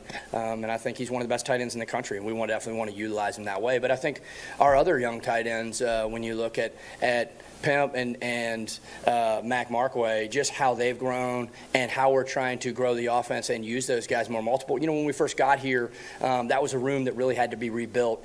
And Coach Kelly and Coach Denbrock started that. And obviously, they have a huge, you know, Coach Kelly has a huge history with, with tight ends um, and what he's done with them over several years. But we wanted to grow that room. And I think we're close, right? We're close to getting there. Um, and if, you know, when you guys had an opportunity to be out at practice a little bit, I think you can see um, just how we want to use those guys a little bit more, just within the framework of what we do on offense. Sloan, great energy. Cool. From the young coach. You can see why he's a good recruiter. Um, Sounds so confident. We had a chance to talk to CJ Daniels here. Very impressive. Daniels, uh, transfer out of Liberty. Here was Sloan talking about some of the new faces in the wide receiver room, including CJ. One, CJ just brings he, he's, he's such a level of consistency. You can see the experience and how he plays. He's an extremely smart player, um, and he's physical, and he is strong through the catch. Um, I, I, think he's going to be a huge piece for what we're doing in the fall and, and putting him in different positions where he can use his strengths. Um, so that we can attack this conference, right? And and I think when you look at obviously, right, we spoke about the returners a little bit, but CJ, the, the level of leadership that he's brought to the room and and consistent work habits. Um, it's just been it's been really good to see and, and the, the challenging thing for him is he's learning right some of these other guys who have been here they know right they've, they've run these plays multiple times he's learning so every day out there um, he's learning and he's getting better and as, as we've watched through spring, um, just our ability to say, hey, we need a big catch, we can go his way, um, and he continues to produce. Um, but I'm excited about what he brings, probably even more from a toughness standpoint, a leadership standpoint, and a consistency standpoint, because um, that's something that's that's critical, and that's if you want to win championships. Right, your, your guys have to play that way, um, and he brings that level to us. So I, I can't wait to watch him this fall. But it's been fun to watch his growth within the offense. Um, and I think he'll have even a bigger August camp, you know, just as we finish out. It'll be fun to watch him these next two weeks. Uh, Zavion's explosive. I mean, you know, earlier in camp, we, we had him a jet sweep, right? And he's able to just, you can just see he has such a, just a feel for, for space and holes. He's made some really big plays down the field. He's, he's, he's got a lot of speed. Um, but I think ultimately, right, trying to get him the ball in space and maybe create create punt returns on offense, right? We want to create punt returns on offense, and we'll have the ability to do that with him and, and as well with Aaron. I think Aaron's played a, a, a really good football as well. Um, you know, in Kyle Parker, different guys who have the ability to maybe work small areas. Um, but Zavion's been a, a just a, a, treat to have here. And again, I speak to his level of toughness. Um, and I think that's been what's probably been the most exciting for our offensive staff and those two guys walking in. They're both tough football players. Right? They're tough football players, and that's going to matter for us in the fall. Good bite there from Joe Sloan talking about the new wide receivers um, in CJ Daniels and Zavion Thomas. Here he is talking about the uh, offensive line, obviously being the centerpiece of this year's attack. Well, I think, you know, I think I think everything right. I, I started out by saying everything starts inside, right, and we're going to build from inside out. So, especially when all of a sudden Nuss is coming in and and hasn't started as you know a bunch of games in the past. Um, I think to have that consistency up front, right, so he can have that level of trust and just how those guys are playing. Um, you know, obviously led by uh, Will and Emery and just how they show up every single day. It speaks volumes, and it's it's. I, I don't know that I could overstate um, what that means for a quarterback um, and what that means for our run game. Uh, from from the running back standpoint, I think you're going to see if you guys touch the ball. You know, we're going to we're going to attack people. We're going to come off the football and we're going to re- reestablish the line of scrimmage. Um, with Brad Davis's mentality, he starts with the leadership and how he sets the tempo in the room. But really, you watch um, as he's been with these guys a couple years, you start to see it be player led, um, and that's what we want to do. We want to establish a new line of scrimmage. We want to attack people so that they have to fit the box, and then after that, we can let our skill players go do something special on the perimeter when they get the matchups. More from the offensive line. DJ Chester has been a key addition here and someone who has pushed for starting time early in his days at LSU and now has a starting center job. Center is a hard job. Is a hard job to do, right? Every every play you got to talk, you got to communicate, you got to get everybody on the same page. Then you got to snap the ball, then you got to block, right? Um, and I think just how he as a, as a, a second year player um, has been able to go out and communicate effectively, consistently.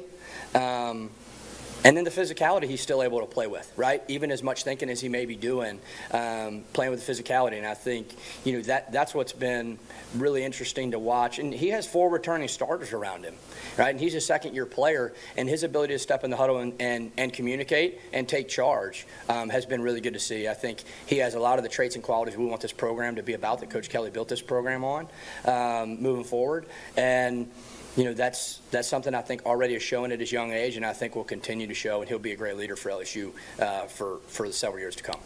Uh, Stewie, this is going to be nine and ten back to back here, but here is Joe Sloan talking about the development of Garrett Nussmeier and where he is from a quarterbacking standpoint, and then followed up by another soundbite on the quarterback, and this is the entire room and what the competition behind Nussmeier looks like.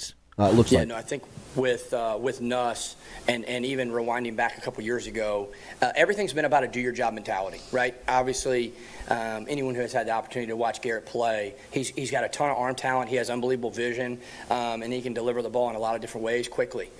Um, his big thing has been uh, playing within the structure of the offense and understanding when to take cha- when to take uh, maybe challenge a throw, right, and when not to. Um, and that's been the big that's been the big emphasis, right? Is is making sure you just from a do your job mentality and having tight feet. When Garrett has tight feet and he has his feet underneath of him, he makes really good decisions. Um, and and so it really is a technique thing, which is in his control. So we try to keep keep him focused on that. I've been really really pleased this spring with how he's done that. But then also um, taking over the leadership role. I, I think you know, you watched and I, and, and I read, uh, I think Mason Taylor's comment uh, a couple weeks ago, which was which was really cool to see. You know, just when when all of a sudden Garrett got his opportunity in the bowl game, you could see him step into that role and and the relationships that he had built over time, the work that he had put in. Um, guys respect that. They respect they respect work right? They respect work uh, and they respect if they know you care, right, about your teammates, and they respect guys who are going to go out and do their job to the absolute best of their ability. Um, and I think that's how Garrett's uh, stepped in and, and maybe taking advantage of his, of his new role. So it's been it's been really good to watch. But I think his vocal leadership has really grown. Um, but I think he's playing within himself. Um, so it'll it'll be fun. We got a lot of work to do between now and August, uh, but but a lot of really good things so far. What's that backup competition look like? I mean, it, it's been back and forth, but lately it's been Rickie Collins taking reps with the twos. So I mean, if we're going off of what's been seen lately, it's Rickie Collins right now as QB two, which is which is very refreshing to see. Honestly, like Yeah. just to see from The knowing recruiting, Rickie like yeah. from his junior year of high school and him committing to Purdue and him going to Purdue, and then him decommitting and committing to LSU. Like I kind of think people didn't really realize like what how competitive Rickie is one and how how good of a player he really is, and now it's starting to show at LSU. Here's the last bite. This is 13. This is on the way out. Sloan kind of stopped himself before he left the podium and wanted to make sure and give highlight to one more player before he took off. Hey, I will tell you, Shelton Sampson has made a ton of strides. I, I, I- I'd be remiss not to say, uh, just made some really big plays the last several days. So it's been good. Knock if you're with me. Yeah. Like to hear that. Hey, yeah, he went. That was not No, provoked. it was that very was unprompted. He had In to- fact, he was talking about Kyren Lacy. Mhm. Yeah. And he, he wrapped up his. This is the soundbite before. This is 12 Mhm. This is the answer. He was he was answering this question on Kyren Lacy, and and as he wrapped up the the Lacy answer, you know, that was kind of the end of the press conference, and you know that's what he did. He was, hey, before I go, I got to mention Shelton Sampson, but this was the answer yeah, the before. one over, over the uh, safety was pretty good. That was pretty cool. If we can recreate that a few times, we'll be okay. Uh, Kyren, where I've been so proud of Kyren, I knew Kyren when he was like 15 years old, um, and watching his his level of growth um, from, an, a, from a consistency standpoint, accountability, maturity, emotional, um, his growth that way. You know, everybody talks about, hey, I, I, I want to. I want to grow, right? Hey, I know these are my things I need to work on. I, I want to. It's it's not about talking about it. It's about what you do every single day, and the level of consistency that he's shown from really from the bowl game into how he's attacked the weight room to how he's been a leader and holding other players accountable um, and teaching young players what we do and how we do things. Man, that, that's what's that's that is the process that then shows up at practice um, and shows up on Saturday. I, Kyren's going to make plays, right? But the maturity, the ability to use your emotion as your strength, and the ability to be consistent and accountable day in, day out, right? That's going to carry over, and now we see his talent show up every single play. I'm not worried about what he does on those individual routes. It's that process that he's had, and I think you know he and and, and Coach Hankton and, and how they've worked together to to what you know to to allow him to grow into that uh, has been really really really cool to watch. Um, and I think you're seeing it show up now on the practice field. And as that was wrapping up, that's where he gave the answer on Shelton Sampson. So the wide receiver room looks like it's in good spot. It's in a good spot after you're losing, you know, a couple of first round picks, a couple of top 20 picks in Nabers and Thomas. And if you like Brian Thomas Jr., you're going to love Shelton Sampson. Put it that way. Because he is a freak. Mhm. Like, Yeah. with the ball in his hands. Once the light bulb goes off, It's gonna for be- Shelton Sims. It's going to be curtains for everybody because agree. he's probably the most talented in the room. It just hasn't clicked yet Yeah, it hasn't clicked yet for him. And I think for Sloan to go out of his way, like you said, he was walking off the podium, turned around, and was like, "Hold on." Oh, wait, wait, Nobody wait. asked me about Shelton Sampson. Let me tell you real quick. He's made some massive strides, so don't forget about him. Right. Because when you think about what they've added in that room, you have what five, six receivers that, well, maybe unproven at LSU, three of which have ability and have started. Like C.J. Daniels went over a thousand yards. He's one of what three receivers or five receivers I think in the country that I think it's, yeah, I think it's six. yeah, That's six returning. receivers. Yeah. that's returning and went over a thousand yards their previous year. And then you have, I think everybody has their woes or their qualms about what you've got from Kyren Lacy just because the drops have been an issue. But if he's working like that and he finally gets the opportunity to be like the, the guy, whether it be I don't know if he'll be your leading stat producer, but he's definitely the leader of that room. And I think that's kind of what he's been biding his time and waiting for. Because do you remember when he came in here and we interviewed him and he was saying like, I want to see the effort and intensity that we used to have at at ULL. Yeah. Like that's what those the first thing you said. It's like we're we're I'm trying to get people together to go throw, and Garrett Nussmeier has taken that upon himself also. So you fast forward two years, and now they're finally getting to that point of okay, this is what the work looks like, and I feel like that's a big rubber stamp of what Kyren Lacy's tried to kind of implement to that room. I'm excited to see Kyle Parker. Me too. Yeah. That sophomore wide receiver class. Aaron Anderson. Really? Yeah. Oof. But that that yeah, I mean, there's only one ball, and you got, I mean, you got You got six or seven. Yeah, with. exactly. And you heard what he thought about Mason Taylor. And You know, Zavion Thomas. They're going to be a there's going to be a, a big effort to get him the ball. Yeah. And I think he's going to be one of the biggest winners with Nussmeier as a quarterback now. Mm-hmm. Oh, Mason Taylor? Yeah, Absolutely. You know, I mean, all those running yards that Daniels would accumulate are now going to go to the tight end on those and, dump downs. and Mason Taylor is, is one of them. Like he, I agree. I, agree. I, I Like with Sloan. I mean, you know, obviously Sloan knows the team way better than we do, but I mean, I, I agree. Outside looking in, Mason Taylor is one of your best players on the team. Yeah, best football players. Yeah, like absolutely. generally. Yeah, I mean, never makes mistakes. You know what I mean? I can think of one mistake he's made since he's been here. The, The, the drop at Bama. But I mean, You know, I mean, Yeah. it happens. no harm, no foul. Yeah, right. I mean, it happened. all right. But I mean, the next play, I mean, it really kind of it was it was over. Yeah. But I mean, he was hurt. But he's also made Really? some plays at Oh, LSU my where you're God. like, damn, I I, didn't realize Mason His Taylor had freshman that. season going into that year, the story was that they didn't have a tight end in sight. Yeah. Like they didn't have a tight end on campus. Like they were like, who are they going to play at tight end? They're gonna have to play by the the freshmen. by the middle of the year. By the end of the year, you had a top fifteen tight end in the in, in the, The sport. country, yeah. I mean, you know, I mean, Mason Taylor is Like- a long time pro. Right, like yeah, I mean, like if he's at like Georgia, he's playing like 100%. Brock Bowers. Like they're putting an emphasis on getting the ball to Mason Taylor. Yeah, he's kind of been somebody that you've just haven't really noticed, but you would notice if he didn't play. Exactly. Like Well, you some- did. Yeah, right? you did. It's it's one of those guys that like he doesn't. I don't think he wows you with his athleticism, but everything he does, he does the right way. And if he wasn't on the team, especially that freshman year where he comes in and it's like, I guess you have to start as a true freshman, and then he's making huge plays in the Florida State game where he's he has enough wherewithal to be able to get out of bounds and give you a chance to even compete and win Yeah. that game. And then from what he's done, you can go to the Alabama two point conversion, like all of these things. He's he's put a lot of he's put a lot in the bucket for LSU, and it's somebody that really is kind of been an unsung hero for you. That's going to get drafted and probably play ten years in the league. Like, oh, Mason Mason Taylor Taylor's still playing. Yeah, Still making scoring- plays. Still making scoring plays. touchdowns. Making plays. Like he, might- he like like he is. See, you said like athletic. I, I think he has that. No, he definitely has. that- he's definitely has Yeah, it just doesn't wow you. right? Because of like all the other freaks that they have in the room, like the Pimptons and Yeah, the shiny- Trey the shiny the shiny toys. toys. But you got the Mason Taylor might not be the sexiest, but he is consistent. Consistent Marriage material. Right.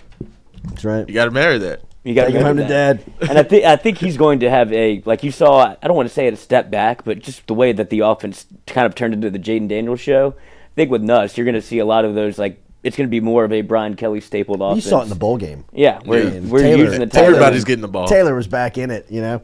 Uh, Range Fit, remember Range Fit, water's favorite drinking buddy. You can purify your daily hydration with optimized electrolyte mix that you see right here, centerpiece of our set every day. Couple of flavors, including the lemon lime, blueberry, and this one, the strawberry Blueberry. kiwi. All of it you can pick up online at rangefit.com if you're looking for them. Rangefit.com. Uh, easy, recognizable logo, uh, easy website. You can shop the product online, rangefit.com. Uh, but this is a hydration product that is sugar free, uh, soy free, gluten free, dairy free. Uh, it is extremely refreshing. We start our day with it every single day here uh, on the Culotta Show. I would suggest uh, that you make it a part of your your routine as well. Range Fit at rangefit.com. Rangefit.com is where you pick them up. All right, come back with us. We'll keep it rolling here. Jordy Culotta Show live here from Click Here Digital.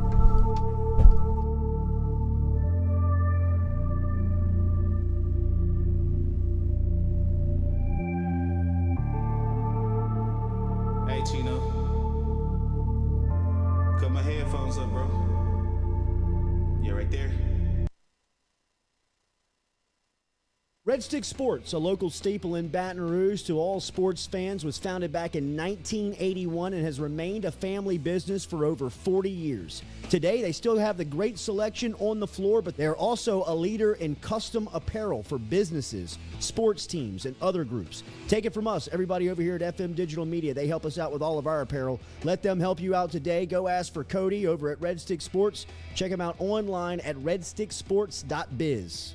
The Jordy Culotta Show is brought to you by A Bears Lawn Maintenance. Commercial or residential, A Bears Lawn Maintenance is ready to work. A Bears can tackle all your homeowners association requirements. Call Blake at 225 485 8022.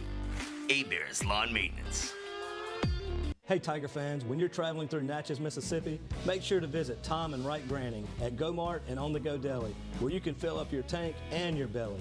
Go Mart has clean restrooms, community coffee, an awesome beer cave, and a great selection of anything you may need on your trip. Located at 4 Sergeant Prentice Drive as you're entering Natchez on the left. Also, stop by Wardo's Po' Boys at 309 North Broadway on the beautiful Natchez Bluff, where the Po' Boys are so good you'll swear you're in Cajun country. At Ochsner, we know healing is a team sport. That's why we've partnered with world renowned orthopedic surgeon Dr. James Andrews to create the Ochsner Andrews Orthopedics and Sports Medicine Institute. Whether you're a professional athlete or a weekend warrior, our team of specialists are dedicated to getting you back in the game. So, whatever your reasons are for reaching your personal best, we've only got one you. Ochsner Andrews Institute. Long live you. All right, buddy. Make it a good shot. Oh, yeah.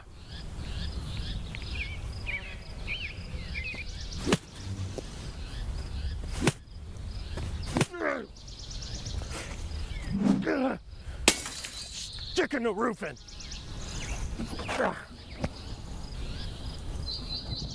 For a hole in your roof, for a whole new roof, go roof. Roof, roof, go roof. Hey, Greg, roof up? Roofs up. Roofs up. Roofs up. Roofs up. Roofs up. Roofs up. Beautiful roof every single time. True. True. Well, the Ochsner Andrews Sports Medicine Institute collaborative effort uh, was uh, an idea from Dr. Andrews and myself to bring together two great names, the Andrews name and the Ochsner name, to elevate the quality of care for athletes in the state of Louisiana, where he's from. I always thought I would come back to Louisiana and practice orthopedics with my subspecialty being sports medicine. This was an opportunity through Ochsner's to come back and work the entire state to help develop and take sports medicine to a new level. As an orthopedic surgeon, what this means in the future in terms of, you know, access for our community, the type of care that Dr. Andrews pioneered, words can't describe how valuable that is. Ochsner has a great opportunity here to, to really grow, and Dr. Burnham, of course, is the mainstay of making that happen. If you want to have first class sports medicine care, check in with Dr. Burnham and his group and you'll be more than impressed and pleased. Fourier Insurance Agency, established in 1946, helping you with your home, auto, commercial, life, and health insurance needs. Around in Baton Rouge at 4275 Government Street and online at FourierAgency.com. Whatever insurance you're in the market for home, auto, commercial, contractors, life, and health get in touch with Fourier Insurance Agency, FourierAgency.com, or give them a call at 225 383 0682. Fourier Agency.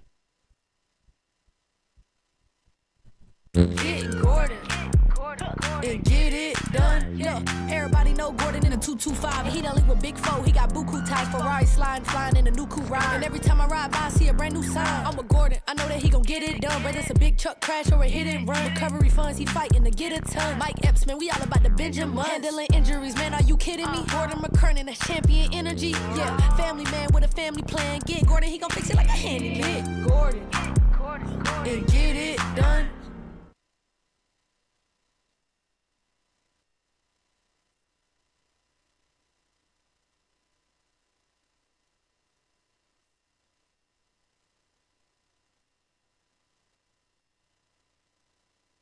What's up? What's happening? Chilling with a couple of cool guys.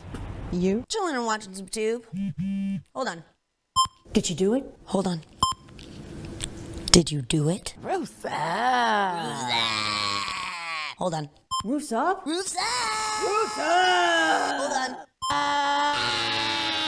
Hold on. Hold on. Beautiful roof every single time. True. True. At Ochsner, we know healing is a team sport. That's why we've partnered with world renowned orthopedic surgeon Dr. James Andrews to create the Ochsner Andrews Orthopedics and Sports Medicine Institute. Whether you're a professional athlete or a weekend warrior, our team of specialists are dedicated to getting you back in the game. So, whatever your reasons are for reaching your personal best, we've only got one you. Ochsner Andrews Institute. Long live you. Head health is incredibly important for our student athletes. One of the best ways we're trying to address concussions is on the front end. We're trying to prevent these before they happen. And a big part of that is speaking to the athletes, letting them know what to expect. Okay, speaking to the parents, what to look out for, talking to the coaches so they know the vital importance. Some of the big things we're looking for with the concussion, which is, you know, a traumatic brain injury, is one, was there a mechanism? Was there an injury that took place that could lead to this? Often a direct blow to the head, a head to head hit. If someone's showing signs of concussion, our first step is always to remove them from activity, get them to a place where there's less stimuli, where we can really just sit down and get a feel for the athlete, what they're feeling. We're looking for headache, we're looking for dizziness, any sign that coordination is off, that something's just not right. Get a good evaluation them to understand what's going on. It's not worth the risk that may be there to kind of ignore it because there are very serious consequences if we don't treat a concussion properly.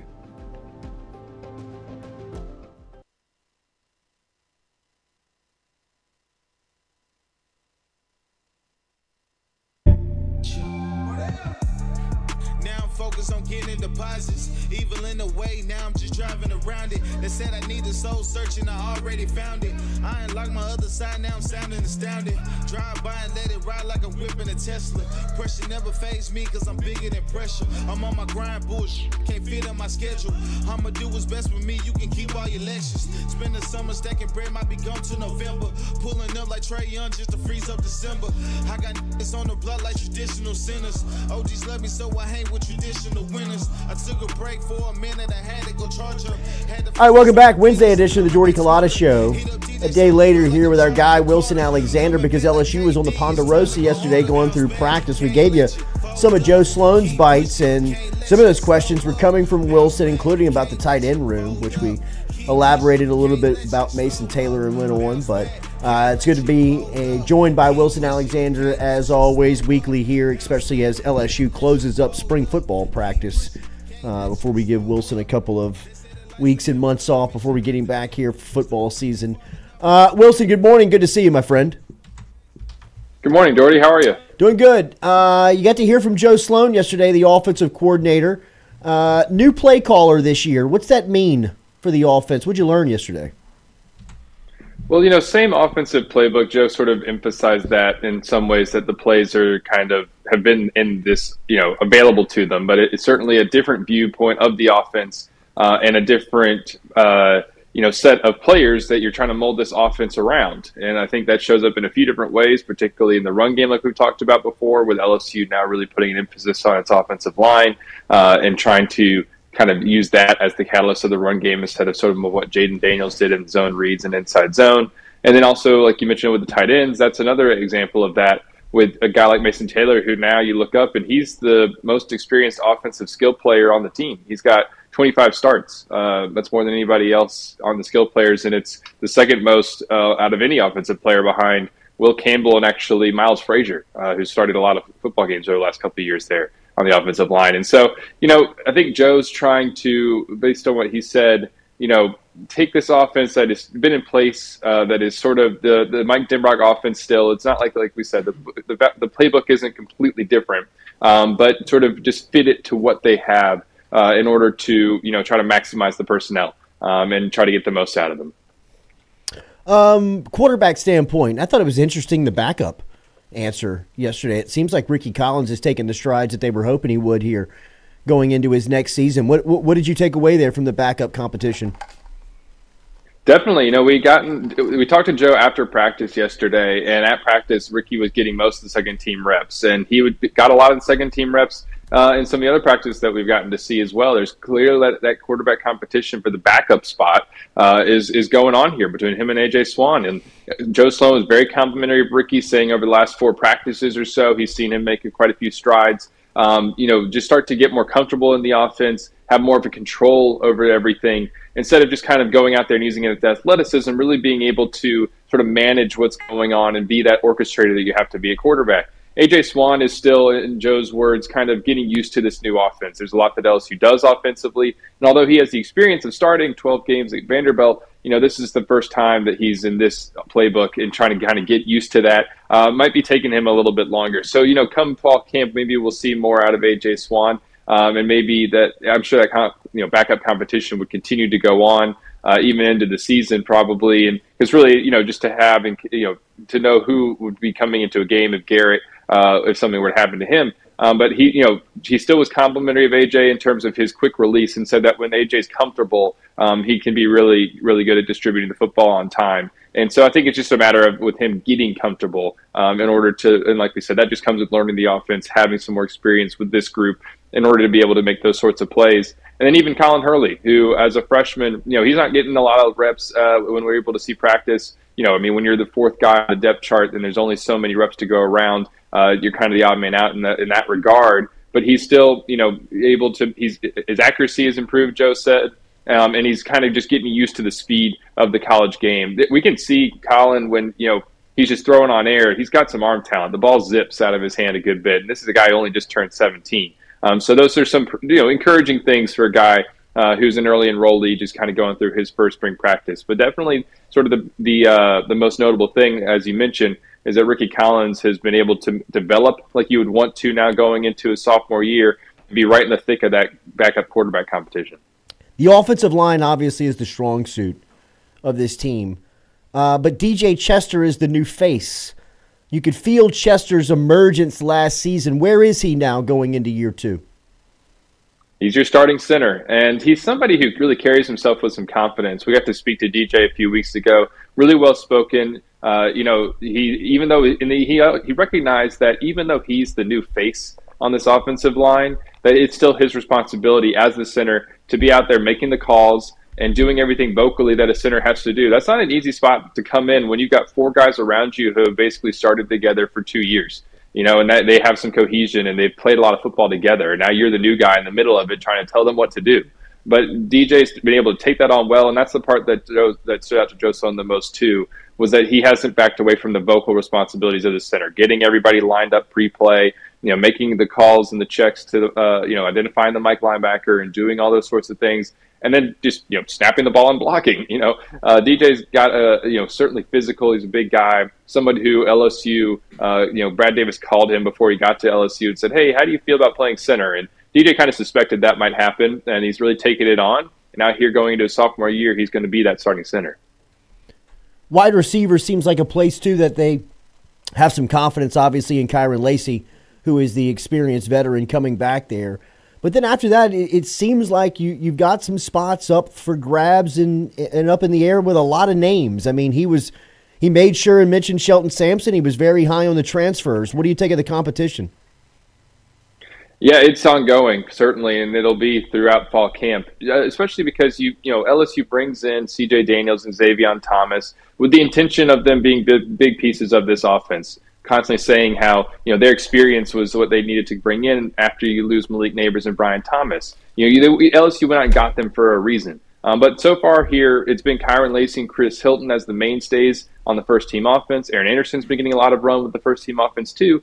And partially it's because of you know just how they're playing. I mean, Kyren Lacy has been playing really well this spring by all accounts. Chris Hilton's been playing really well, been just consistent all spring, um, which is really great sign from him. Aaron Anderson's done some good things as well as he continues to develop. Kyle Parker's been in the mix too. But when you look at guys like C.J. Daniels and Zavion Thomas, as Joe said yesterday, uh, this is kind of the case for a lot of the transfers. You know, they're learning a new playbook, similar to A.J. Swann in some regards, you know, in that way. But it's still standing out to them that kind of once they have that completely under their feet, you know they're going to be big pieces of this offense and major contributors. Are they going to start every single game? You know, we'll see. It looks like LSU's going to have some options and maybe able to rotate guys around a good bit and kind of have more of a target uh, distribution uh, but amongst the wide receivers than it had last year, where everything was so concentrated with Malik and Brian Thomas and then Kyren Lacy as well. You know, it looks like there's going to be probably more like four, maybe five guys who are really within that rotation, and CJ and Zavion being two of them.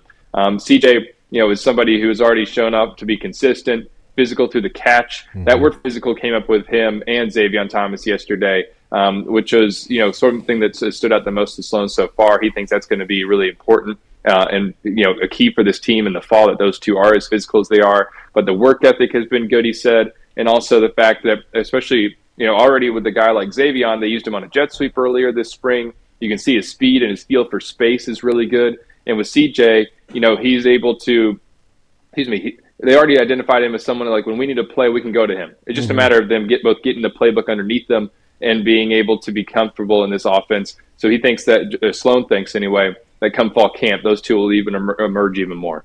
How far away you think Shelton Sampson is? I mean, to see another year?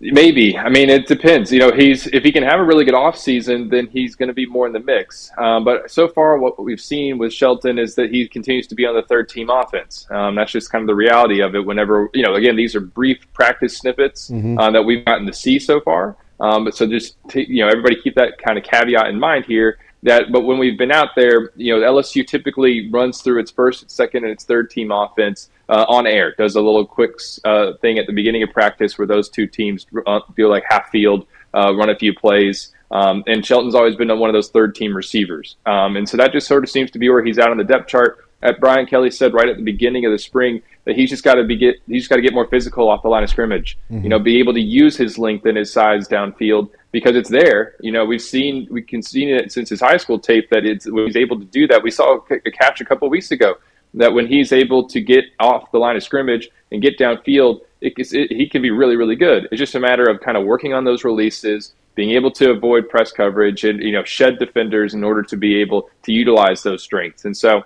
if he can have a good offseason and get himself in the mix, then he'd be right there come preseason camp.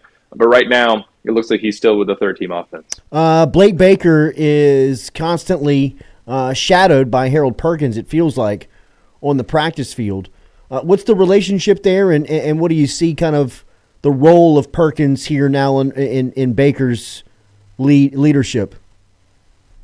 You know, I practiced just, uh, it was yesterday. Uh, there was a moment where, and this has happened every single time we've seen practice, you know, Blake Baker was coaching up Harold Perkins and coaching up all the linebackers, but there was just a little technique thing, thing within a drill where there was basically the drill was designed to, to uh, you know, work on get shedding blocks and sort of absorbing, run, uh, excuse me, absorbing blocks and then shedding those. And Harold, you know, Blake came up with to work with on his hand placement with him and just the way that he had his hands you know, formed and, and then using them against the, um, I guess, the blocker in this case. And we've just seen little stuff like that throughout the preseason. That's what you expect from all coaching, obviously. Uh, but there's a little bit more of a focus uh, placed on it with Blake and Harold because of the need for Harold to be, um, you know, able to ha- play that inside linebacker position. It just seems like Blake has been on top of that all spring, helping him get better, uh, trying to work on those little technical aspects of inside linebacker play that Harold needed to improve upon it'll be fascinating to hear from Blake on Thursday. There's a press conference with him. Uh, I guess that's just tomorrow now,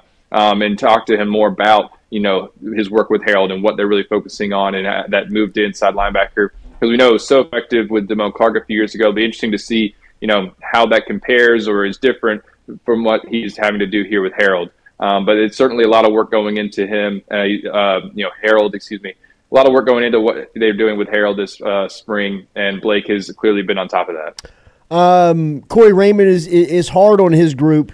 Uh, PJ Woodland is is one that he's seemingly trying to make sure and and get the standard across to.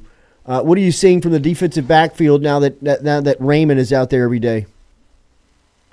Well, you know they're still getting used to Corey in some ways. Yeah, I remember talking to Javien Toviano a few weeks ago, and you know they were kind of still in that point where they're learning how what what a new coach wants in some ways. And we, you know, yesterday there was doing a drill, and you know they were not quite doing it the way Corey wanted them to be doing it, and he let them know that. Um, he's certainly you know been on top of them throughout the spring. You know, trying to get them to understand what he wants, and uh, you know whether that's you know technique wise or just you know sort of certain levels of effort and practice. And you know that was kind of what happened yesterday. He was telling them that they were you know not necessarily uh, taking advantage of the drill, um, and then you know they kind of you know not backpedaling properly. Um, and so what we've seen though in terms of like how who's going to play and how is this going to shake out come you know the fall is not a whole lot of separation at this point. You know that's uh, at least uh, you know that's tangible. You know Javien Toviano and Ashton Stamps have been those first team cornerbacks, um, and that's not necessarily a surprise because you know they were kind of the first teamers by the end of the year. You got a little bit more experience there, and also you know you've got a guy like PJ Woodland who was certainly impressed, but he's an early enrollee. And then, you know, J- J- Jyaire Brown is transferring for the first time from Ohio State. You know, this is his first spring at LSU. You know, J.K. Johnson seemed like he was limited at times this spring so far. Um, and then Zy Alexander is, of course, not practicing as he recovers from the ACL. So, you know, it just feels like, okay, those guys are your first teamers right now. If you played a game tomorrow, they'd be the first ones out there on the field. Um, but it looks like LSU could have some more competition there, you know, throughout the preseason as they go into the maybe even uh, closer up toward game week uh, against you know, USC because you got to figure out who's, you know, let that cream rise to the top and figure out who your best options are there.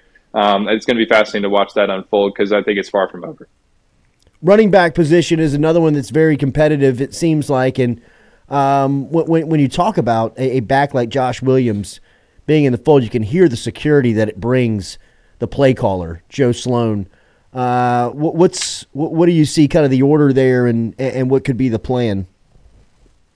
Well, right now the pecking order looks like Josh Williams and then Kaleb Jackson, and you know certainly though they're going to get a lot of touches, both of them, and then you know add Caden Durham to that mix, mm-hmm. and then we'll potentially see whatever happens with Trey Holly, and then maybe even if LSU were to go after another running back in the portal, we'll have to see. You know, in a couple of weeks here, uh, if that ever if that comes to fruition, a lot of that probably has somewhat to depend on Trey Holly's situation.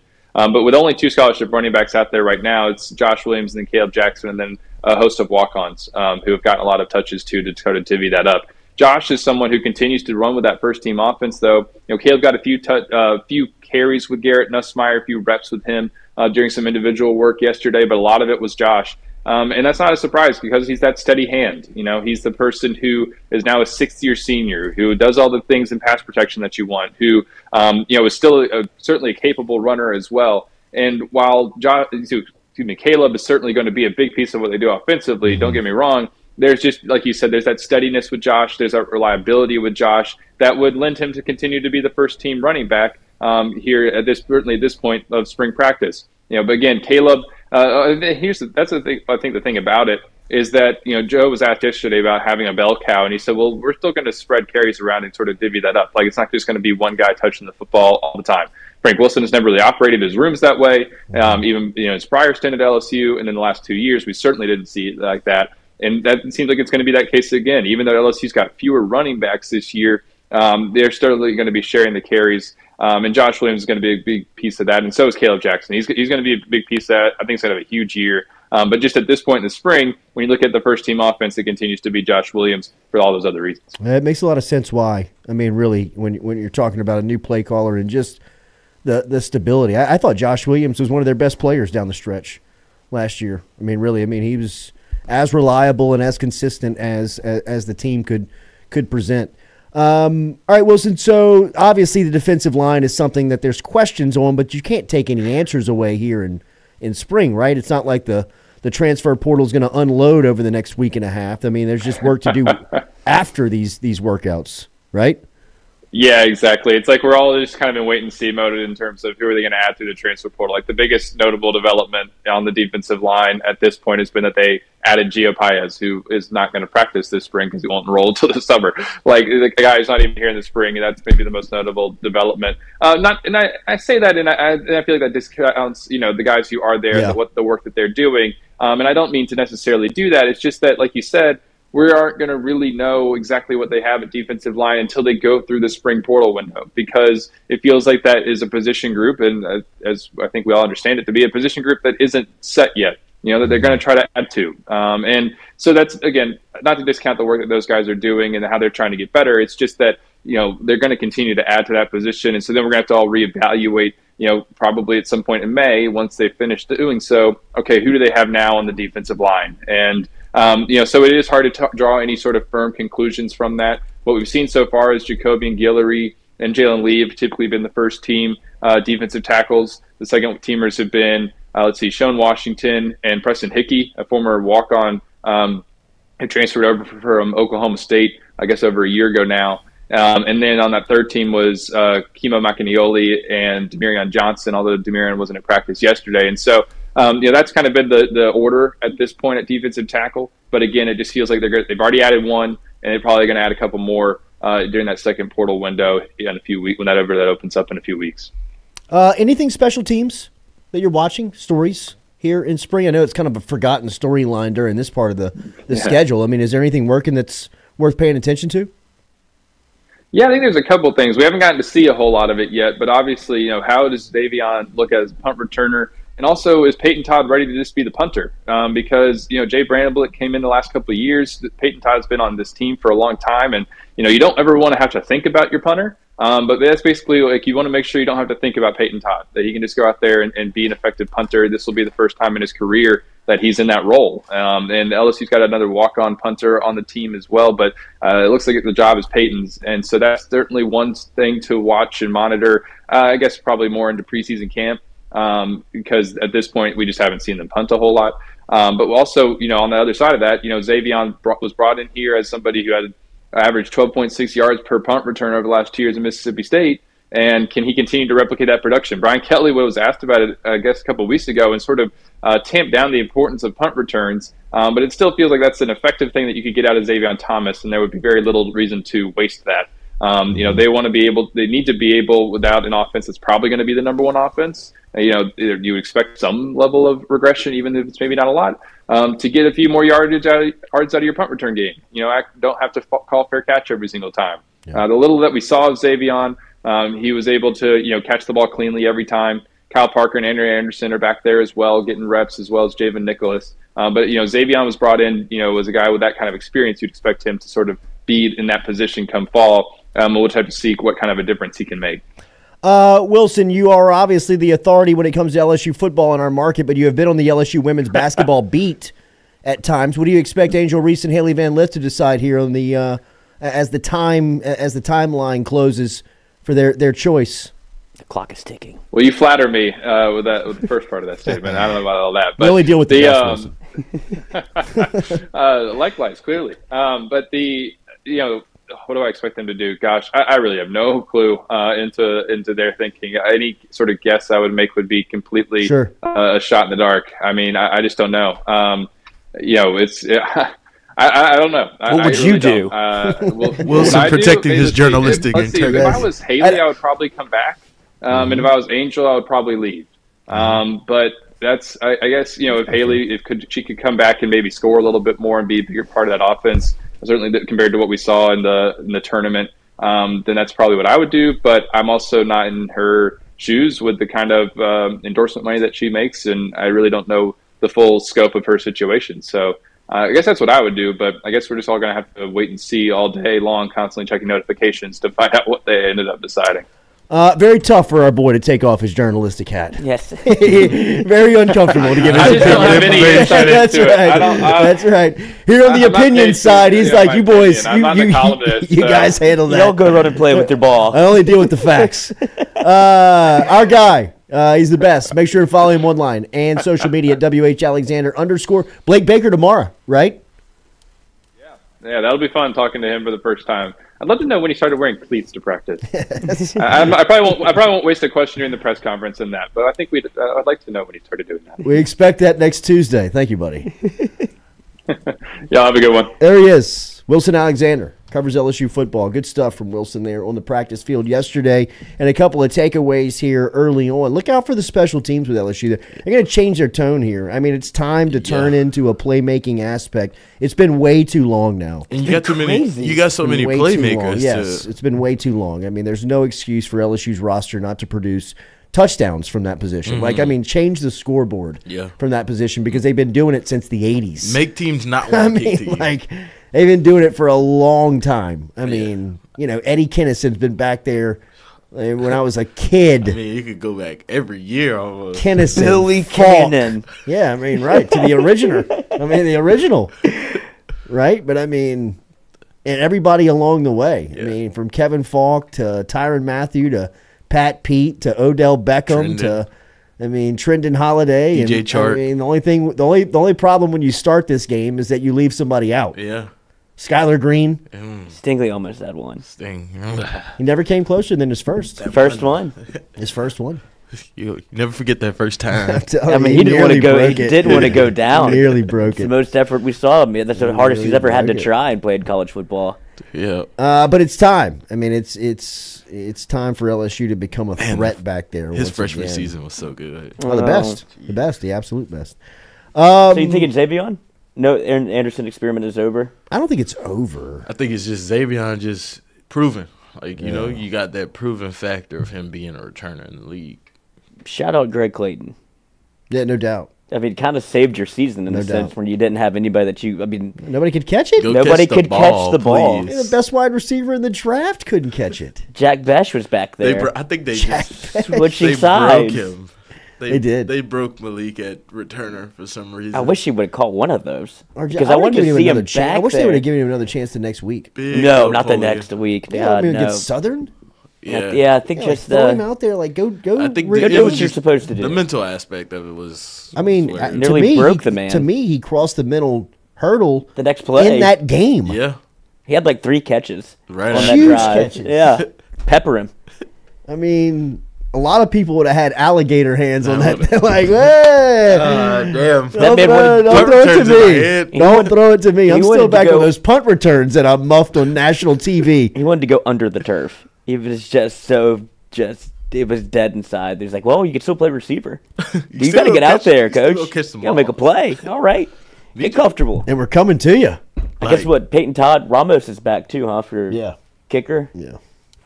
And then Slade. I put Kaleb Jackson back on kickoff. Oh, kickoff They return, did. Yes, You know what I'm is- saying? Like, Yeah. keep him back there. Ooh. Just in Because college, he's, he's, he's he's four net step away from He's- being gone. He's a headache waiting to happen. Golly, I would not want to see him back No. there if I was on the other team. Like, No don't way. kick it to 28, please. and then you'll have the uh, the old school kick in college, and when you turn on the NFL, Yeah. you'll be like, "What am I looking Yeah, at? what is this?" The Super Bowl picture is going to be awful.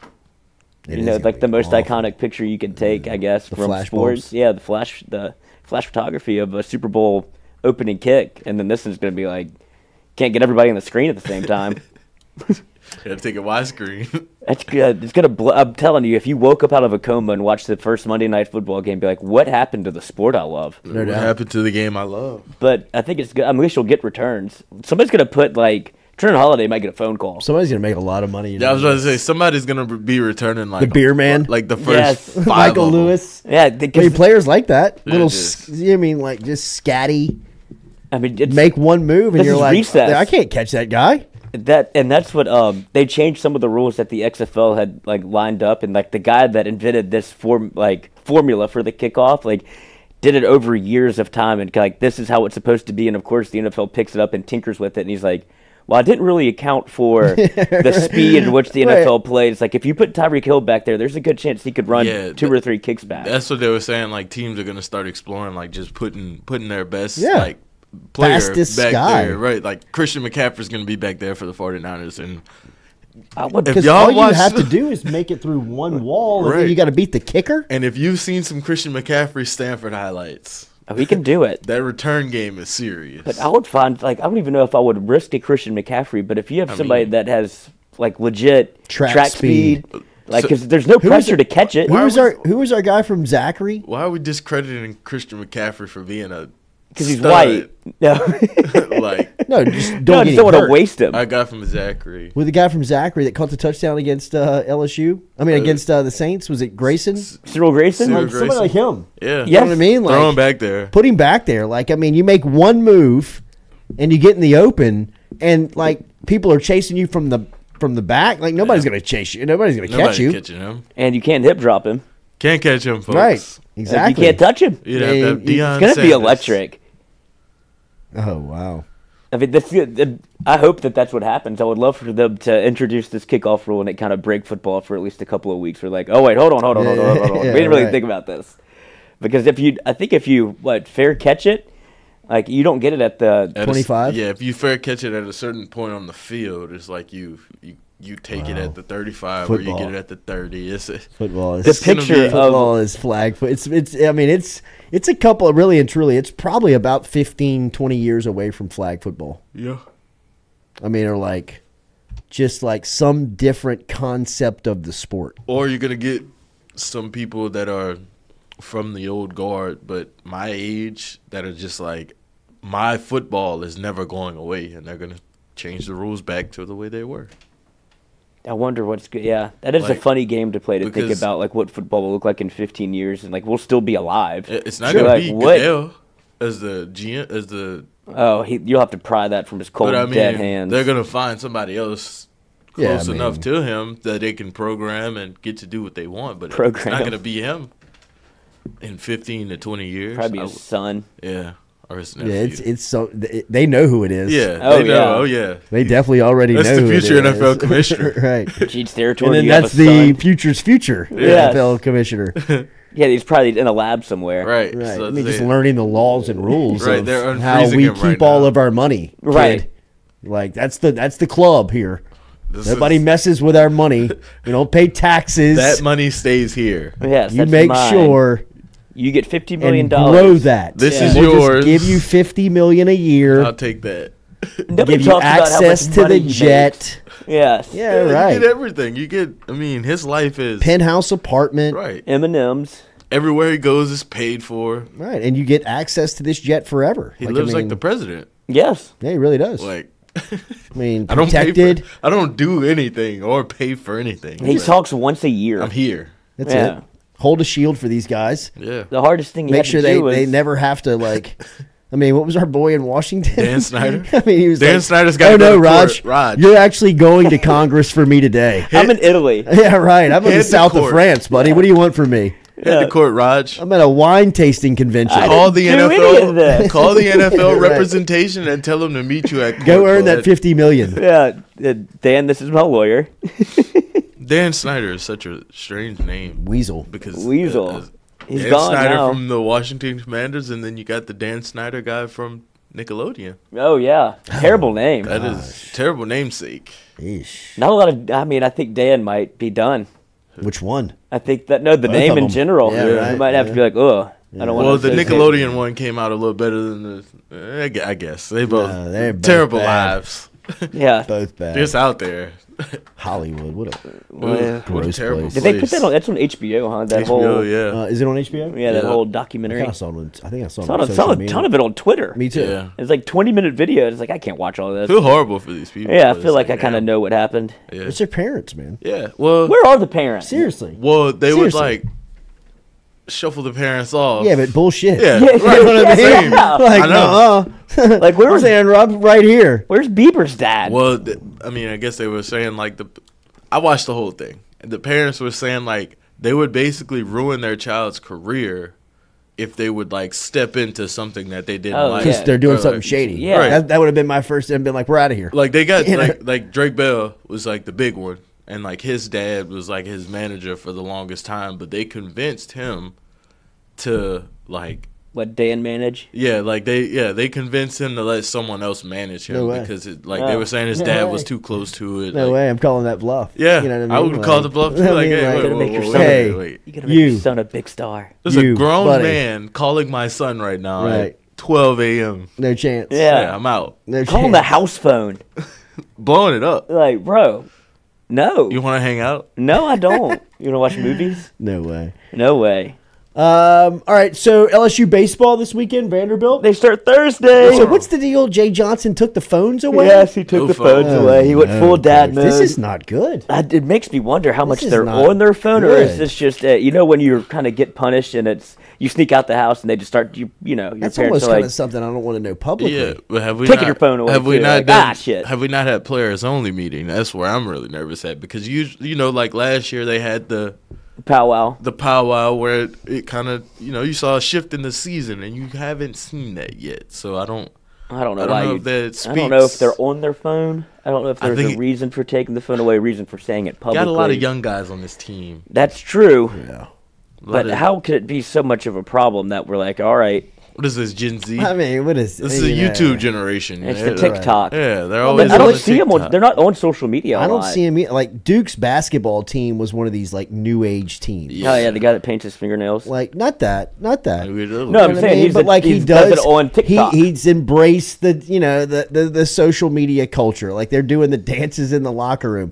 I'm not sure how you're supposed to coach for or against that, right? Like I mean, if you've got like some policy already built in, or if you just have to embrace it because you know, I mean, the generation that's coming up, that's how they live. That's how they were raised. That's how they they operate. Kids riot when you take their phone away now. Like if you take away at school, they're like, I'm not going to class until I get my phone back. Like that's not how it used to be. But like we had cell phones whenever I was in we high school. bring phones Yeah, to we couldn't even bring them. There was not Right. even a Well, I mean, debate. there was there was nothing. There was no purpose to bringing it. That's what I think about. you Like, could what I text in the pocket. What do you need? Yeah, but I like, mean, like even like for me, cell phones didn't really come into like college. So I You mean, couldn't do know, anything yeah, on it. Once you had it, you're like, all right. So what do I do now? You know what I mean? Right. Like, but now, I mean, you've pretty much got a computer in your hand. yeah. I don't- So I mean, you're you're you're doing. You could Every, be doing everybody's so anything. you distracted. can't. Yeah. I was I gonna mean, say you can't. It ain't texting in it. class. It's definitely like I don't I'm know how TikTok you teach like- Yeah. in an environment of Snapchat. teaching, an environment of learning, an environment of you know where where you have to master remembering things. I mean, I, the phone is just it. It's right there. It's there It's a for the conduit to your brain, though. It It's like, really why do I have to learn anything when I can just look it up? I can just Google this, right? yeah. Runners on second and third. I got this. Yeah, put it in the earpiece. but he said at his radio show, uh, Jay John said the team won't have any cell phones around the field or in the locker room for a very long time. Hey. So it might just be like corporal punishment here, like taking your phone away. I don't know what else I can do. I get these phones. I hear. Tired of hearing ringtones. Somebody told me it was like a computer. Next time they're gonna take away your walk-up songs. yeah. Make you play, bring the organ back. I mean, coach, you fall this weekend, it's Ooh. a bleak. It's dark. right? I mean, You get some some dark days. I have been steadfast in the camp of I'm not panicking. Right. Not hitting the, the, the button, you know, of reset. But that Southern you loss can you can do it with this team. Um, Baseball is a very long. This has long been the darkest season. week Yes, of Jay Johnson's tenure. of it has. It has felt like this has kind of been There's some dark days in that 2022 season. it's still fresh. It was, Yeah. uh, yeah, it was still, Still early. fresh, though. still yeah, early. plenty- You can yeah. see it. This is after a national championship. Now the expectations have gone You got absolutely. Jacob Berry and Dylan Crews in the same lineup. I'll give you a pass. Yeah. Then you had And then you win the natty. So I mean, you know, your job security, you're in. Like, you're uh, in. yeah. But this week has felt that one, that press two, conference. Five. That press conference following the Southern game was Dark. Did you see any of that? We Oh, played it yesterday. yeah. It is. I was I was in the dumps too. Yeah. it. like the way the team played, I'm like, damn, I don't I don't know what to. He had a million mile stare, just oh. straight ahead. Not. I'm hurt, dog. Yeah. Yes. Don't Any more questions? No. Good. Get me out of here. I've got baseball to coach. But and then, but if you do want some good news, Jaden Noot threw, I believe this week. Pitcher. I think the number like eight pitcher in the country uh, in 2022 um, had uh, elbow surgery, and now he's finally throwing live BP for the first time. He said it's not. Let me make sure I get the quote right. Uh, Jay Noot threw to hitters today at practice, and it's just about ready to go. So that's a positive. And Jake Brown hurt his knee against Florida. We are wondering Ugh. why he wasn't playing. He got a little dinged up against Florida. So is he back? Uh, he's been in and out of the He lineup. pinch hit him yeah, against but he's not. uh, Southern. I guess he's not 100 percent healthy Mm-hmm. because he he. We thought that he had forgotten how many outs there were, but he was running down the line of a double play and kind of pulled up lame. And I guess that's when he hurt his knee, as opposed to we thought that he wasn't aware of the out in situation. situation, Yeah. yeah. but it, it turns out he tweaked his knee a little bit.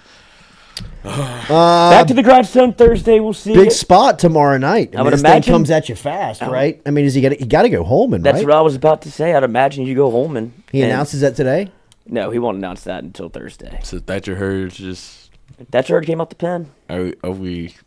He didn't pitch poorly when he came in, but it was a tough spot to come in. just- And you got a bright spot in Cam Johnson, who came into an almost unwinnable situation and was able to get out of it. So look, I- I have forgotten more baseball. I mean, like that guy has forgotten way more baseball than I'll ever know. I know you don't come here for baseball knowledge. It was just, it was, it was weird to me. Like if Cam Johnson was an option, like to me, roll him out there at the start because best case scenario, you got lightning in a bottle, and the dude is Cam Johnson. Right. You know what I mean? Like you recruited this guy, you won versus the bigs. This guy.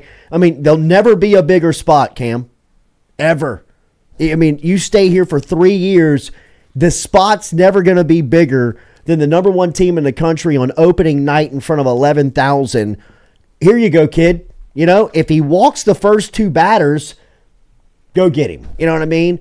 If he goes and does Cam Johnson, like next thing you know, you're like, yo, we got another dude. You look up here in the fourth inning You and know, he's got like, 10 whoa, strikeouts. Like, I yeah. mean, so if he was an like, I was just thinking this Thursday when I was watching, and again, you know, like there, I'm sure there's a theory and a philosophy behind it that makes you know you explain it to me, and I'm like, oh, okay, now I get it. But then to put him in in that situation, Where the one thing that you're terrified of him doing. I mean, like, man, like, hey, your margin of error just went from like you know here to here, so good luck. Figure it out. You know, and again, you're on the biggest stage. They got 11,000 here. Number one team in the country's feeling themselves.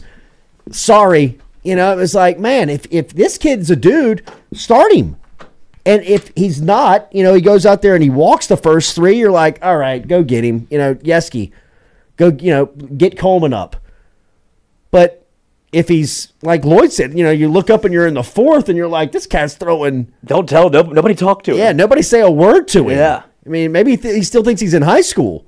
But you were able to even in that spot wherever he, he walked in a walked in a run and walked the bases loaded, then walked in a run. But he did throw a three-two slider that was out of like from just the filthiest It planet. made you scream. Oh, it's 78 saw miles an hour. man. He's pumping 95, and he goes 78 on your head, and it just looked like okay. Yeah, there and so is. for him to be in that spot and be able to get out of it relatively unscathed, I know it's not what people want to hear because you gave up a run, and it made you know it made the comeback that much harder, and you weren't able to pull it off. But it was a bright spot, a glimmer of hope to see from Cam Johnson because I think you'll start to see him utilized more and more. Which that's what you're. They're struggling at the moment, and um, you hope it gets better. I mean, you got people on Tiger droppings that are up at three thirty in the morning breaking down BABIP. Hell yeah. Which is Hell yeah, that? man. Hell Well, yeah. the- what BABIP is. What is that? It is luck, in a sense. Acronym for BABIP. Baseball formula. BABIP is. Oh God. Let me see. What does BABIP measure? BABIP, a measure of a player's batting average exclusively on balls hit into the field of play, removing outcomes not affected by the opposing defense. Home run strikeouts, for example. Hitter goes two for five with a home run and a strikeout would have a 333 BABIP. He's one for three on the balls he put in play. So it's basically luck. Ball. It's batting average on balls in play. BABIP. So it's it, it determines like how lucky you are. Like seeing eye singles, Texas League singles, those are BABIP hits. LSU is uh, in conference. I think they're the opposing team has like a 400 BABIP on LSU. So BABIP. that's when things really aren't going your way. Um, Stat of the day. BABIP. Wow. Have a great day, especially to the BABIP crowd on Tiger Yeah. Droppings. Some- somebody I mean, like if you're you're like if you are in that demographic, It might be Jay Johnson. you are low, expected to be. Yes. Uh, but what a low day for you right now. Trying to find it. Yeah, here I mean, is. There's no highlights. In The goat if at I'm breaking three, down BABIP. and Three LSU. twenty-two a.m. Posting it, and he gets kind of, somebody responds at three thirty. Kind of a weird thing to deep dive and post at three a.m. Like, well, you're responding to it at three a.m. Yeah, right. We're all here. So you're thinking about it too? yeah, I've been looking for BABIP. Uh, like, share, comment, subscribe. We appreciate you being here. We'll be back with you tomorrow morning. Guess, I, guess I've weirder shit at three a.m.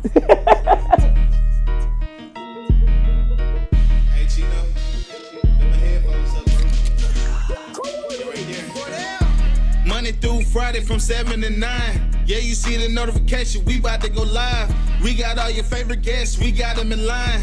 It's the Jordy Culotta Show, come have a good time. It's the hottest show around, we ain't got to flex. Call up G, we get it done, we earning our respect. Tell recruits to let us in, where they going next? Throw up the L's, now we lit, band playing neck.